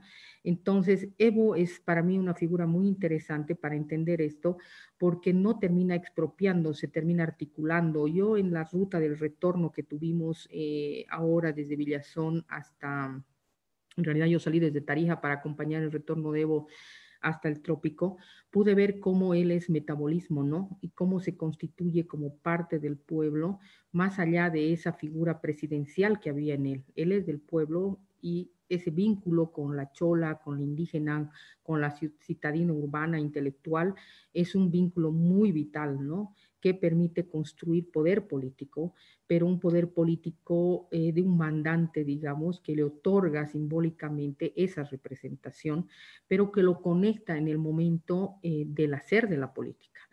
Eso es eh, para mí una cuestión importante porque nos permite pensar que es posible pensar la política desde otra forma, ¿no? Ahora, esto no se reproduce cuando analizamos nosotros, por ejemplo, esta relación entre estas otras representaciones que también son figuras del MAS y que van a los diversos espacios y que terminan siendo expropiadoras, pero además ilegítimas, ¿no? Vuelvo a decir, o sea, la figura de Evo me permite comparar, digamos, eh, lo que implica este tema de la expropiación del poder, pero además la propia construcción simbólica de la política dentro del propio instrumento. Eh, por ejemplo, eh, Sebastián daba el ejemplo, traía, digamos, al centro de la respuesta con eh, Valentina cuando le preguntaba sobre Santa Cruz, eh, la alusión de la diferencia entre lo que implica Adriana, de lo que implica eh, Cromenbol, Mario, y de lo que implicaría Ruiz en Tarija, ¿no? Eh, Adriana nace en realidad de un vínculo directo con una formación ideológica del, partido, del partido, digamos, del instrumento, y se sitúa como joven, como un símbolo político muy importante que logra construir este mandato extendido de la mujer pero no solamente mujer joven, sino mujer eh, vieja, de la, eh, de la mujer indígena, por la vitalidad de la fuerza de su representación que ella eh, intermedia, digamos, en el hacer de la política, ¿no? Entonces, esto es muy vital en la posibilidad de construir esta idea de simbología colectiva que le va a permitir unir sin ser India, le va a permitir vincular, digamos, estos, eh, estas eh, subjetividades que tenemos nosotros y nosotros los ciudadanos, ¿no? Eh, esto se diferencia, pero además de la legitimidad del propio instrumento que sobrepasa la legitimidad que va construyendo con la otra ciudadanía que excede, digamos, a lo que es el instrumento del MAS, ¿no? Esto, por ejemplo, no sucede eh, con Álvaro Ruiz. Álvaro Ruiz en realidad eh, no tiene legitimidad política orgánica es más una candidatura impuesta, eh, no nace de la, de la, experiencia política de coherencia, digamos, de vínculo de militante del partido, porque tiene experiencias con otros partidos previos. Entonces, su liderato se construye ya en una tensión, pero además que expropia, digamos, también las lógicas orgánicas, ¿no? Para lograr constituirse como autoridad eh, electa, expropia estas voluntades políticas dentro del instrumento para posicionarse como sujeto totalitario, ¿no? Y esto es complejo porque rompe los vínculos de la democracia orgánica, de la democracia popular, que construye las representaciones vinculantes y donde obviamente va a expropiar eh, se va a constituir en un sujeto expropiador de la voluntad de la chola, del indígena, etcétera, porque no va a tener ese mandato extendido. Entonces ahí hay una ruptura entre lo que es el pueblo, ¿no? con el vínculo de la autoridad, si es que es electa, pero ahora como candidato. Y Mario Cronenberg, más allá de ser Canva, digamos, eh, implica además este, este, esta, es un intermedio, digamos, entre lo que es Adriana y Álvaro, pero eh, también en esa racionalidad occidental, pero más criolla, lo llamo yo así, eh, y no sé cuánto eh, podríamos mirar, todavía yo no logro mirar muy bien porque él está muy, es, de una cultura muy popular y en sus lenguajes eh, políticos y físicos tiene, digamos, ese vínculo con el pueblo, ¿no? Entonces, ahí hay una cuestión interesante para analizar en esos tres sujetos, cómo se da esta construcción del poder, eh, la construcción de la expropiación y las mediaciones políticas que se van constituyendo. Ahora, eh, pasando, digamos, a este campo de los logros que podemos tener nosotras como mujeres, nosotros decimos que el número no es suficiente, ¿no? Eh, no, no, no, es necesario decir el 50% está representado por las mujeres. Hemos logrado tener, digamos, una, una una plancha que nos eh, va a dar 50% mujeres, 50% hombres, o tal vez pensado en la propia diversidad. ¿Por qué? Porque la idea es justamente esto que tú has puesto, cómo se construye el poder en esto y en qué medida esta mujer representa, digamos, no como sujeta expropiadora, sino como sujeta de vínculo con la construcción de esto que es el, el digamos, eh, la base de la construcción del poder, eh, la chola, pero la chola no como individuo, sino eh, estoy usando metafóricamente, ¿no? Porque esa chola es también indígena, es también mujer urbana, ¿no? Y se, se construye en sentidos simbólicos en esta construcción de la representación política. Entonces, Bolivia, por ejemplo, es el segundo país que tiene la cuestión de, o que tenía hasta antes del golpe, la mayor participación de la mujer en los espacios, no solamente legislativos, legislativos, también ejecutivos, ¿no? Y con alta cualidad, digamos, eh, de representación y de acción política. Pero eh, esta cuestión ahora, como tú mismo has mencionado, eh, que puede verse que solamente de 24 mujeres, cuatro son mujeres, no es que yo, no, yo te vuelvo a decir, yo no lo muestro como retroceso, lo muestro como un proceso de transición en la reconstitución, porque la construcción de estos lideratos políticos también son complejos, ¿no? ¿Por qué no pensar en que esa mujer que ha estado y que ha estado siendo ubicada, digamos, que ha sido la que le ha puesto el pecho al, golpe, a las balas, podría haber sido representante. Estamos con representaciones y mediaciones que son básicamente urbanas, que en el imaginario de los eh, operadores políticos son los que articularían, en este caso, los votos, ¿no? Entonces las mujeres quedan fuera de lo que son estas nuevas cartografías de poder o ingresan como número eh, para mostrar, digamos, este peso de la paridad y la alternancia en como, como, como, lo manda la ley. Ahora, yo creo que lo que tú has puesto, Lucas, y que me deja como un elemento fundamental para la reflexión, tiene que ver en esta idea de la expropiación del poder. Las propias mujeres podemos ser expropiadoras, podemos ser opresoras, ¿no? Se da el caso, por ejemplo, de eh, precandidatas o candidatas que para estar en los curules necesitan negar, digamos, eh, las formas de representación y de construcción del poder orgánico de las propias mujeres, ¿no? Entonces utilizan lo orgánico y expropian el poder simbólico de colectividades más amplias y más grandes. Entonces, aquí yo creo que los avances en realidad... Eh, eh, esto más bien se muestra como tensiones, pero también lo puedes leer eh, como avances en el sentido de evidenciar dónde están esos elementos que necesitamos trabajar las propias mujeres en la construcción de nuestra propia emancipación. Ahora, en términos legislativos, Bolivia tiene un marco muy importante eh, sobre el tema de, lo, de la descolonización y la lucha antipatriarcal y también... Eh, eh, sobre el tema del racista, ¿no? Eh, del racismo. Entonces yo creo que ahí pues, se puede dialogar mucho más, pero yo me quedaría con esta idea que tú me has provocado a construir, que tiene que ver con eh, justamente la idea de la expropiación del poder a partir del uso, digamos, o de la construcción de las representaciones políticas en estos espacios de los que estábamos hablando. Gracias, muchas gracias, Pilar. Me quedo con ese concepto de la expropiación. Creo que resume muy bien lo que quería decir. Gracias. Eh, bueno, ya para ir cerrando, porque estamos llegando a casi dos horas de, eh, de conversación, vamos a hacer la última pregunta. Esta pregunta va dirigida tanto a Sebastián como a Pilar. La va a hacer nuestro compañero y amigo Gabriel González, que es un poco para ir cerrando precisamente porque este es un, un foro de o sea, es un, claro, es un foro organizado por el taller de análisis de política internacional desde América Latina, así que nuestro amigo Gabriel va a hacer su pregunta ahí, introduciendo un poco una dimensión más latinoamericana.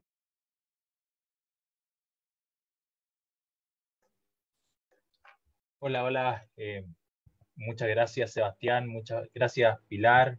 Creo que han sido exposiciones brillantes, de, de, gran nivel, que, que, han permitido un, gran diálogo. Eh, yo lo que quiero preguntar eh, o comentar, cómo cerramos con esto, con, con, sus comentarios, eh, tiene que ver con la articulación regional, la articulación de las izquierdas y el papel del MAS en ese proceso, que sin duda hoy día no pareciera tener grandes referentes que estén articulando eh, esos canales, ¿no? Eh, de hecho, el golpe en Bolivia, sin duda que para muchos de nosotros, nosotras provocó la sensación de que, de que los procesos de cambio, eh, esta eterna sensación, ¿no? De que algunos procesos de cambio son detenidos, ¿cierto?, por, por las orquestas de la oligarquía,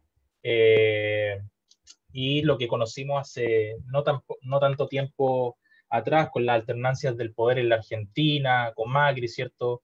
En el Ecuador con Moreno daban, daban la sensación de que no solo podían ser detenidos estos procesos, sino que también revertidos en cierto, en cierto sentido, ¿no? De que todo este acumulado histórico del que hablaba Pilar, del que hablaba Sebastián, podía ir también en retroceso. Eh, y en ese sentido, la, la vuelta al gobierno por vía democrática eh, del MAS, con los grandes porcentajes que tienen, con la autocrítica que me imagino que internamente se realizaron, con, con la planificación que muy bien detallaban Sebastián y Pilar en el momento de la campaña, en el momento de la, de la generación de los relatos nacionales de integración, eh, dan la sensación de que es un, es un referente político de izquierda que no solo goza de buena salud, o uno pensaría eso, ¿no? Con todos los desafíos pendientes que puedan haber en Bolivia, sin duda. Pero cómo ese referente puede también hoy día eh, ser un factor para la articulación regional en los países latinoamericanos, eh, considerando, por ejemplo, que el papel de la Argentina de Fernández fue también importante ¿no? para, para el proceso de rearme de una alternativa tan significativa como, como el más. Eh, y en ese sentido también cómo articular proyectos más allá de lo nacional de nuestras izquierdas. Eso me parece que, qué rol cumple o qué rol podría cumplir un referente que, como digo, eh, a todas luces para nosotros goza de buena salud como el más y que probablemente por eso también uno puede pensar que tiene mayor responsabilidad con este, con este proceso que señalo. Muchas gracias por, por sus presentaciones.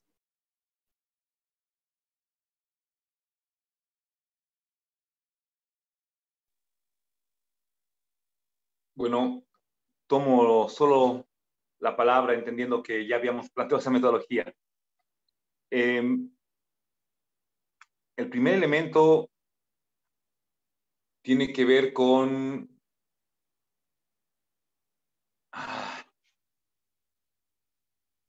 con, el rol esencial de la política. Y el rol esencial de la política va a estar directamente vinculada al poder. Y cómo construyes el poder. Y eh, el poder beneficiando a quién. Entonces, cuando el poder beneficia a un sector muy amplio, hay un sector pequeño que también se ve beneficiado, porque el poder tiene que transformar las cosas, porque si no transforma, la gente sigue buscando una, otra alternativa de poder. Primero yo quiero aclarar que soy enemigo de las recetas, porque lo que funciona en Bolivia puede no funcionar en Chile, puede no funcionar en Argentina, en Brasil y viceversa, ¿no? Basta con que sepamos que tenemos la misma lucha, el mismo cauce y eh, el mismo sentimiento pero no, eh, no siento que el MAS tenga una responsabilidad más allá, que no sea la de ganar Bolivia, que no sea la de conducir Bolivia y que no sea eh, otra que mostrar que un proyecto nacional, popular, progresista de izquierda eh, ha generado transformaciones de inclusión, de crecimiento económico, de modernidad de las instituciones, de mejora en la calidad de vida a partir del transporte, pero también a través de los trámites, eh, una sociedad que funciona. Porque finalmente, cuando vamos a lo, a lo esencial, lo que el ciudadano normal tiene es una sensibilidad, ¿no? Que tiene dos aspectos. Una individual, ¿no? ¿Cómo mejoro yo? ¿Cómo va mejor a mí? Pero también cómo hago una sociedad en la que no sea imposible vivir, en la que la gente no tiene perspectiva, no tiene futuro, no y no tiene aprensión a la estabilidad, a la paz. Eh, ¿Cómo hacemos que eh, la gente quiera una sociedad en que conozca cuál es el orden, una sociedad estable y una sociedad con trabajo? A nadie le gusta un familiar que está sin trabajo, a nadie le gusta un amigo que, que ve frustrada su vida, a nadie le gusta vivir en una sociedad así. Y normalmente las sociedades capitalistas te plantean sociedades así. Te plantean la responsabilidad individual por el fracaso. Cuando, cuando hay una persona que fracasa, es una responsabilidad colectiva. Algo estamos haciendo mal como colectivo. Y la gente que le está yendo mal tiene que saber que este proyecto político asume como su responsabilidad el hecho de que esté fracasando en una proyección de vida, en una materialización de sus sueños. Entonces, es lo que nos va a unir es lo que hace que un boliviano se emocione cuando Quilapayún canta con um, una um, alameda llena de gente, porque sabemos que están buscando una sociedad más justa, sabemos que están buscando que lo que el hombre ha aportado en todos sus años de trabajo se vuelva una vejez digna con una jubilación, que lo que tú aportas cada mes de tu salario se vuelva un sistema de salud digno, que lo que tú has aportado en impuestos se vuelva inversión pública y no se vuelva negociado, que desaparece, nunca lo ves, y que sepas que tu hijo eh, va a tener un trabajo, ya sea como obrero, ya sea como topógrafo, ya sea como ingeniero, como administrador, como lo que sea. Pero además que esa gran avenida te va a servir para mejorar tu calidad de vida y no estar tres horas en una vía colapsada y vas a recuperar dos horas para que, para que tu hijo esté con, su, con tu nieto y puedas llegar a la casa disfrutar mejor de la familia. Y qué mejor que una moneda estable que no se devalúa para que tu hijo pueda salir una vez al mes a comer una hamburguesa con toda la familia. O sea, cosas tan sencillas que la gente necesita saber. Pero lamentablemente en la sociedad esa riqueza no alcanza para todos. Y ha habido un diseño que ha hecho que se naturalice que los grandes negocios son de unos cuantos y no del Estado. Y te han hecho creer que eh, los grandes negocios eh, pueden tener eh, habilidad y talento de un gran empresario que sabe cómo lograr beneficios para su empresa, pero cuando hay una corrupción en un acto público, valida de que la empresa tenga que volver a un dueño privado. Con la corrupción no tiene que ver si es ideológica, si es de un partido, si es otro o si es del Estado, ¿no? Sobre todo en, en, en áreas donde el petróleo tiene sangre, tiene corrupción, en Bolivia, en Brasil, en Chile, en Perú, en el mundo, en Inglaterra, en Estados Unidos, con la Shell, eh, con todo el mundo. Em, ¿Qué es lo que viene? ¿Cuál es la responsabilidad del MAS? La responsabilidad del MAS es poder gobernar por primera vez con alguien que no es Evo. durante 14 años hemos tenido y sabíamos el estilo de Evo, o la responsabilidad es mostrar que un proyecto político puede tener una conducción diferente. Afortunadamente tenemos un economista en un momento donde el principal desafío es económico en Bolivia. Sea, en un año y medio, un país que venía siendo próspero, que venía con crecimientos estables, que venía con el crecimiento eh, siempre número uno en la región, hoy día hemos dado un salto hacia atrás, que es lo que tú dices. Los procesos se revierten y por eso la gobernabilidad es una tarea de todos los días. El entender por dónde va la insatisfacción de la sociedad es una tarea de todos los días. Y ahí tiene que ver con saber eh, caminar también a los pasos que la sociedad te está exigiendo. ¿Hay que dar satisfacción a la sociedad? Sí, pero también hay que saber caminar. Ni que la sociedad, como es el caso eh, humildemente lo veo en Chile, ¿no? O sea, la sociedad está mucho más adelantada y un gobierno mucho más atrasado. Pero el caso inverso tampoco es el conveniente. Gobiernos muy adelantados con sociedades que todavía no entienden el por qué dar ese paso cualitativo. Entonces, eh, creo que el trabajo de gobernabilidad, el trabajo de explicar, el trabajo de descentralizar los recursos, el trabajo de crear gobiernos locales que te ayuden a, integrar, que te ayuden a ser amplio, que te ayude a que no se concentre la riqueza no solamente en una ciudad, no solamente en un sector, sino se extiende en el territorio, pero también en los sectores sociales, es un gran desafío de las izquierdas en América Latina. Creo que el gran rol del MAS es mostrar que lo más importante de un modelo económico es que este sea justo, es que este sea distributivo. Cuando todos pasamos carencias, la sociedad medio que se acostumbra, se adapta, pero cuando ves una sociedad con tantas desigualdades, unos tienen tantas cosas, tanto acceso, y hay otro sector que absolutamente tiene nada y vive en el riesgo, en la incertidumbre, incertidumbre elemental de no saber si mañana vas a conseguir para comer o no comer las sociedades de la desigualdad son temas muy duros y yo creo que el MAS tiene esa responsabilidad, porque todos los países tenemos la obligación de mostrar que un frente progresista, un partido igualitario, un partido de izquierda, tiene la capacidad de dar respuesta a las demandas de la sociedad. Pero no, hacer, no asumo, por lo menos yo como individuo, que el MAS tenga que ser un referente o un modelo, porque lo que es aplicable para Bolivia puede fácilmente ser un balazo en el pie para Chile. Basta con que Chile tome el camino que ustedes mismos saben cuál es. Ustedes mismos saben dónde aprieta el zapato. Ustedes mismos saben cuáles son las falencias. Y nosotros, por supuesto, estamos muy pendientes porque cada proceso político tiene su actor. El nuestro ha sido obrero, ha sido campesino. El de ustedes, el actor que ha comenzado la ruptura, ha sido estudiante, y eso es una gran cosa porque son chicos jóvenes que tienen a su cargo no solamente lo que viene de vida para ellos, sino toman en sus manos la responsabilidad de lo que hacer la vida de los hijos. Diferente cuando somos actores ya más mayorcitos, yo tengo 46 años. A mí me emociona mucho ver cómo em, el proceso chileno está siendo impulsado por jóvenes que eran estudiantes de secundaria hace 15 años y hoy día ya son eh, profesionales. Entonces creo que ese camino que está tomando Chile es un camino propio, es una construcción propia, diferente a la de Argentina, diferente a la de Bolivia, diferente a la de Brasil, que era obrerista y que, llegaba con Lula. El de ustedes es diferente. Y las gobernabilidades también.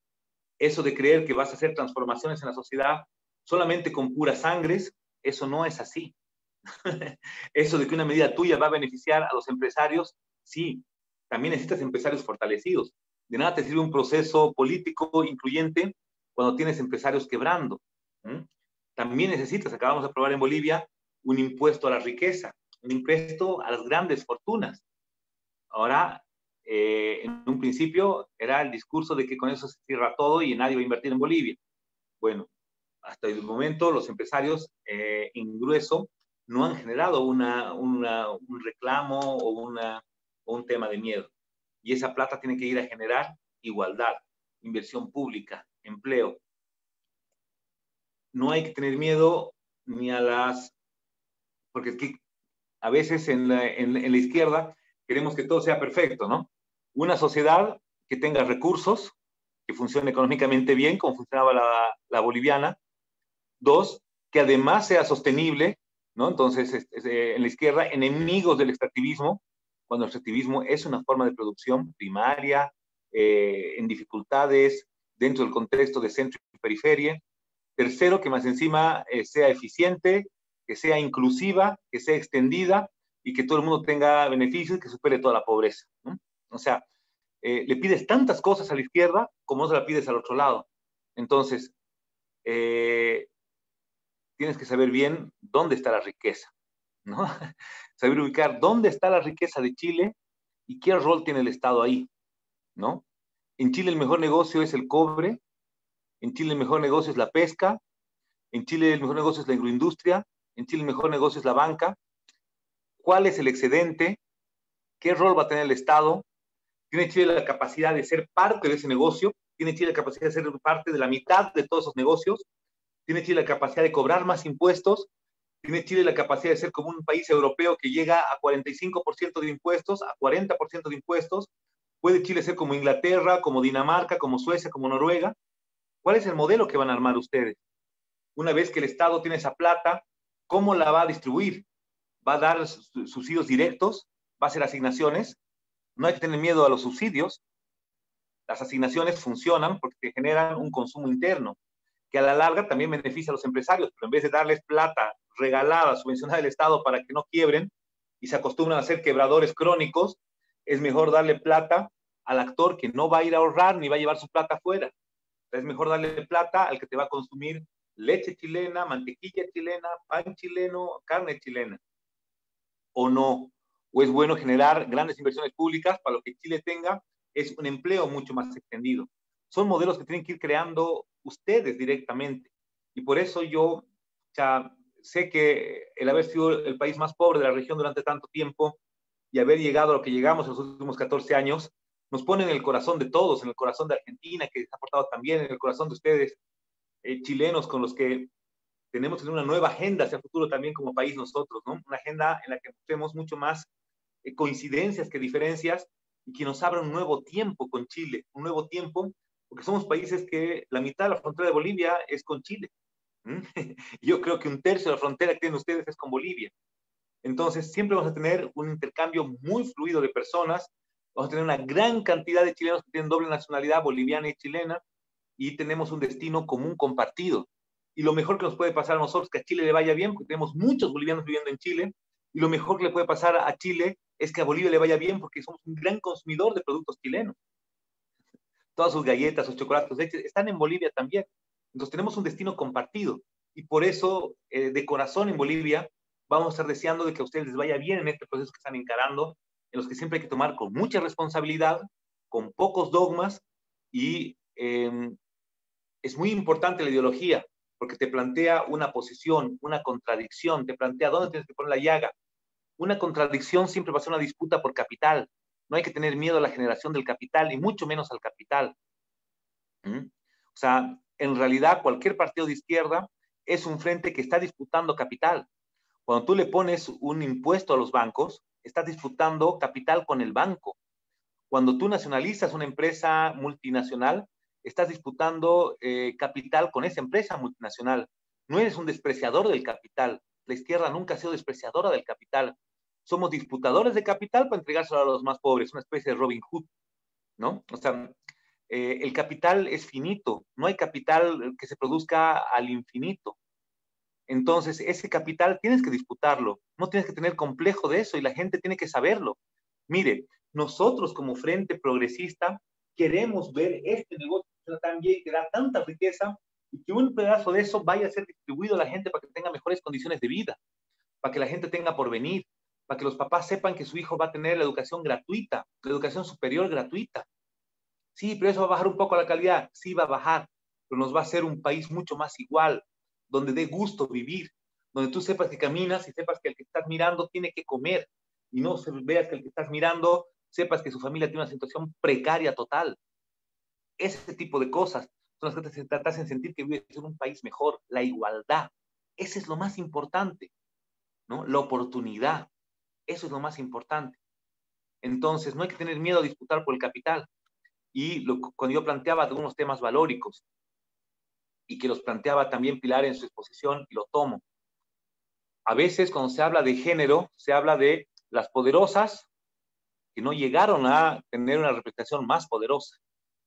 Se piensa que la igualdad de género está en, en 200 mujeres de un país que son candidatas, cuando la igualdad va a estar de que el Estado le garantice un crédito a 50 años a mujeres, a mamás solas. La mamá sola es una de las mujeres, los actores más vulnerables de la sociedad. Si a esa mujer le das la casa y le cobras eh, día a día en su factura de luz mes a mes, la va a pagar en 50 años. Pero a la única mujer que no le bota la casa no es la mujer que vio un spot en la televisión ni que fue a un encuentro, es la que es dueña de su casa. La mejor mujer que no va a tener que depender y que no tener que aguantar a ningún tipo que le pegue es la mujer que tiene tierra y puede fabricar. La mujer que no la van a pegar más y que puede votar al golpeador de su casa es la mujer que tiene un trabajo estable. Esa es la verdadera mujer que va a lograr condiciones dignas hacia adelante. No es la que ve un programa y... Eh, por eso nunca hay que desviarse del verdadero sentido de la igualdad, que es distribuir el capital a los actores más vulnerables. A Evo le hacen muchos problemas con el tema de género, porque no le gusta hablar las y los, las y les pero es el único que ha dado 40% hoy de los campesinos que tienen tierra son mujeres. Antes estaba prohibido, el único que recibía tierra era el hombre. Hasta hace 20 años estoy hablando, estoy hablando de hace 200. ¿Mm? Hoy el 40% está en manos de mujeres. Hoy eh, la vivienda social se destina prioritariamente a mujeres. Hay bonos para que las mujeres den a luz. Hay bonos para que las mujeres tienen más hijos, vayan ahí hay posibilidad de que la mujer se jubile antes por cada hijo que ha tenido. Son medidas concretas que hacen que los beneficios económicos se lleguen antes a la mujer y deberíamos tener más cosas. Hoy en Bolivia, cualquier madre que tiene em, eh, muestra de que está embarazada ya empieza a recibir un subsidio de alimentación gigante, con muchos litros de leche al mes, con mucha quinoa, con mucha chocolate, con mucha alimento, con mucho alimento balanceado, con ácido fólico toda mujer, no solamente la que trabaja, antes era solamente la que trabaja, ahora hemos ampliado a toda mujer. Toda mujer que está garantizada en su trabajo, no puede ser despedida. O sea, hay cosas concretas que tienen que ver con las luchas de género, que tienen que ver también con lo central, que es la disputa de capital para llevarle a los más débiles, más vulnerables. Perdón que me he extendido tanto. Me ha encantado el conversatorio. Eh, siempre voy a estar listo. Ahí les dejo mi número de WhatsApp, eh, eh, que lo tienes tú y y cualquier cosa directamente siempre con todos los compañeros pásaselos y yo siempre a la orden para todo. Perdón por, eh, por ampliarme. Un abrazo. Gracias a ti, Sebastián. Y ahora para cerrar, Pilar y después eh, Pilar también con la misma pregunta que no, no, sé si todavía la tenemos toda en mente, pero eh, me imagino que Pilar la, la, tiene más anotada que yo. No, claro que sí, no, es una, yo creo que es una cuestión muy provocadora la que pone Gabriel porque nos lleva a pensar eh, a otros campos epistemológicos y ontológicos también, ¿no? Una primera cuestión que me pregunto en esto, Gabriel, en vez de responderte, me vuelvo a preguntar, tiene que ver con esto de eh, de qué izquierdas estamos hablando, ¿no? Porque eh, justamente nuestro proceso político nos lleva a cuestionar a las izquierdas ortodoxas que piensan en los procesos de la revolución y la construcción del Estado y la sociedad de una manera bastante lineal, ¿no? Entonces, eh, esto que es el MAS, que es en realidad eh, un instrumento por la soberanía de los pueblos que articula eh, sujetos, territorios eh, y, cuestiones en disputa, pone en el centro del debate la idea de la izquierda y de las izquierdas en realidad, ¿no? porque pluraliza eh, el concepto de pensar la política y la, la, cultura política también desde el hacer en el Estado y fuera del Estado. Entonces, cuando nos preguntamos esto de pensar de qué izquierdas estamos hablando, yo creo que ahí eh, nuestro, el movimiento al socialismo, el instrumento por la soberanía de los pueblos, tiene la capacidad eh, de plantearse varias, varios quiebres en el, propio eh, pensar a la izquierda, ¿no? Eh, y esto lleva justamente primero a pensar las formas de construcción de las representaciones y del manejo del poder dentro de los propios, llamemos partidos e instrumentos. Se pone en cuestión el instrumento, o sea, el partido, para dar forma, digamos, a lo que implica pensar la propia democracia en el acceso al poder y la construcción desde estos espacios del poder del Estado, del poder de la sociedad. Y eso es una cosa muy importante en el proceso eh, boliviano, ¿no? Porque creo yo que lleva a una reflexión también profunda sobre lo que implica eh, eh, la idea de pensar el vínculo con la sociedad de los propios partidos, ¿no? Entonces, el MAS no puede ser visto como una especie de, digamos así, satélite en la construcción compleja de esto que se llama el campo del poder, porque el MAS articula en realidad la completitud y la totalidad, una, pero no es la totalidad única occidental y liberal, de lo que implica eh, las formas bajo las cuales se construyen las representaciones. ¿no? Entonces el MAS es comunitario, es colectivo, es territorial, es individual, es indígena, es chola, es mujeres, es diversidad sexual, o sea, es esa complejidad. Eh, estamentaria, societal, etcétera, que va a ser la que va a poner en quiebre las formas eh, tradicionales y conservadoras de pensar esto de las izquierdas y las derechas, ¿no? Pero obviamente transversalizado y sustantivado por esto que acontece justamente en lo que es lo que sustantiva al más. Ahora, esto lleva también a pensar algo que es muy importante, o sea, el proceso revolucionario de Bolivia, sobre todo en este horizonte histórico que yo he relatado, en esta construcción del relato, tiene que ver también con un quiebre fundamental. Cuando hablamos de la revolución, siempre hablamos eh, de la revolución con un sujeto obrero, ¿no? Y Bolivia tiene un sujeto que desde el margen, desde, la, desde esto que es esa izquierda que se constituye y se fundamenta con el MAS, nace con un proyecto portador de transformación radical y es justamente el indígena originario campesino, eso lo reafirmo, ¿no? Es, es el sujeto que va tener la capacidad de sustantivar la transformación política en Bolivia y que va a traer una cuestión que es la condición de la preexistencia, que transversaliza toda la constitución política del Estado, todos los derechos fundamentales, civiles, políticos, sociales, etcétera, ¿no? Entonces, eh, yo creo que eso no podemos perder de vista. El más es inspirador, digamos, en su posibilidad de expresar esta complejidad también de que el sujeto no es el obrero, que el sujeto nace en realidad de estas matrices. No te escucho, Pilar. ¿Hay algún problema con tu Zoom? No escucho. De estas, eh, no sé si se escucha, ¿se escucha? Eh, de estas matrices eh, comunitarias, de estas matrices que son, ¿se escucha o no? sí, yo escucho escuchando la intervención de Pilar. Ah, perfecto. Entonces sigo. Entonces, que tiene que ver eh, justamente con esto que decía yo, que es este sujeto que desde los márgenes se construye y que tiene que ver con toda esa teoría también de Marx de pensar las estructuras comunitarias, ¿no? Entonces, eso es lo sustantivo que nos trae el MAS para poder, además, en este subvínculo de pensar una cuestión eh, de construcción amplia, ¿no? Eh, el poder irradiar a lo que es la reflexión de los procesos revolucionarios. Ahora, eh, obviamente que acá tenemos muchos elementos fundamentales que tienen que ver con el diálogo, por ejemplo, de las emergencias de otros actores eh, que son también, eh, yo traería aquí la teoría feminista, el tema de la interseccionalidad, ¿no? el ser, digamos, indígena no implica que dejas de ser mujer o dejas de ser joven. eres mujer, eres indígena y eres joven, digamos. Entonces, tiene que ver con, por ejemplo, esta emergencia que se da por, en Chile, por ejemplo, de un sujeto joven que va a marcar un horizonte histórico político muy importante y va a llevar al país a Chile, ¿no es cierto?, a poder generar eh, alternativas de construcción que derrumben los viejos, eh, los viejos esquemas políticos, ¿no? Entonces, eh, yo creo de que una cuestión importante en esto tiene que ver justamente con también cómo desde, desde este nuestro proceso revolucionario y en toda la capitalización que tiene el MAS, va a expresar una otra construcción y otra condición del sujeto.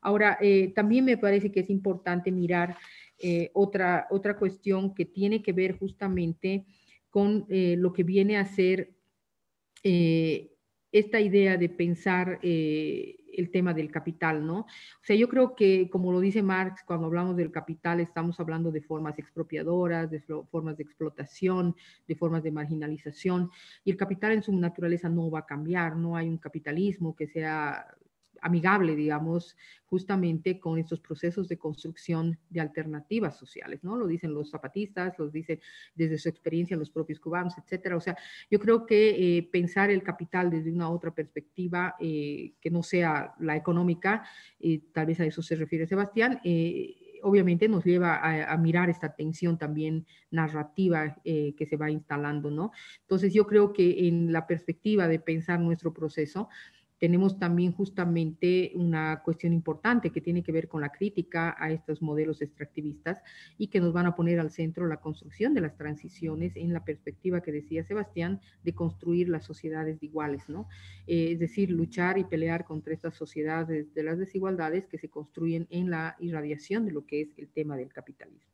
Ahora, eh, me parece que también es importante mirar cómo desde el MAS podemos eh, em, trabajar desde el proceso boliviano en eh, poder irradiar, digamos, eh, e, esperanzas y aprendizajes, ¿no? Yo creo que nuestro proceso es un productor de alternativas complejas, creativas, en un mundo quebrado, ¿no?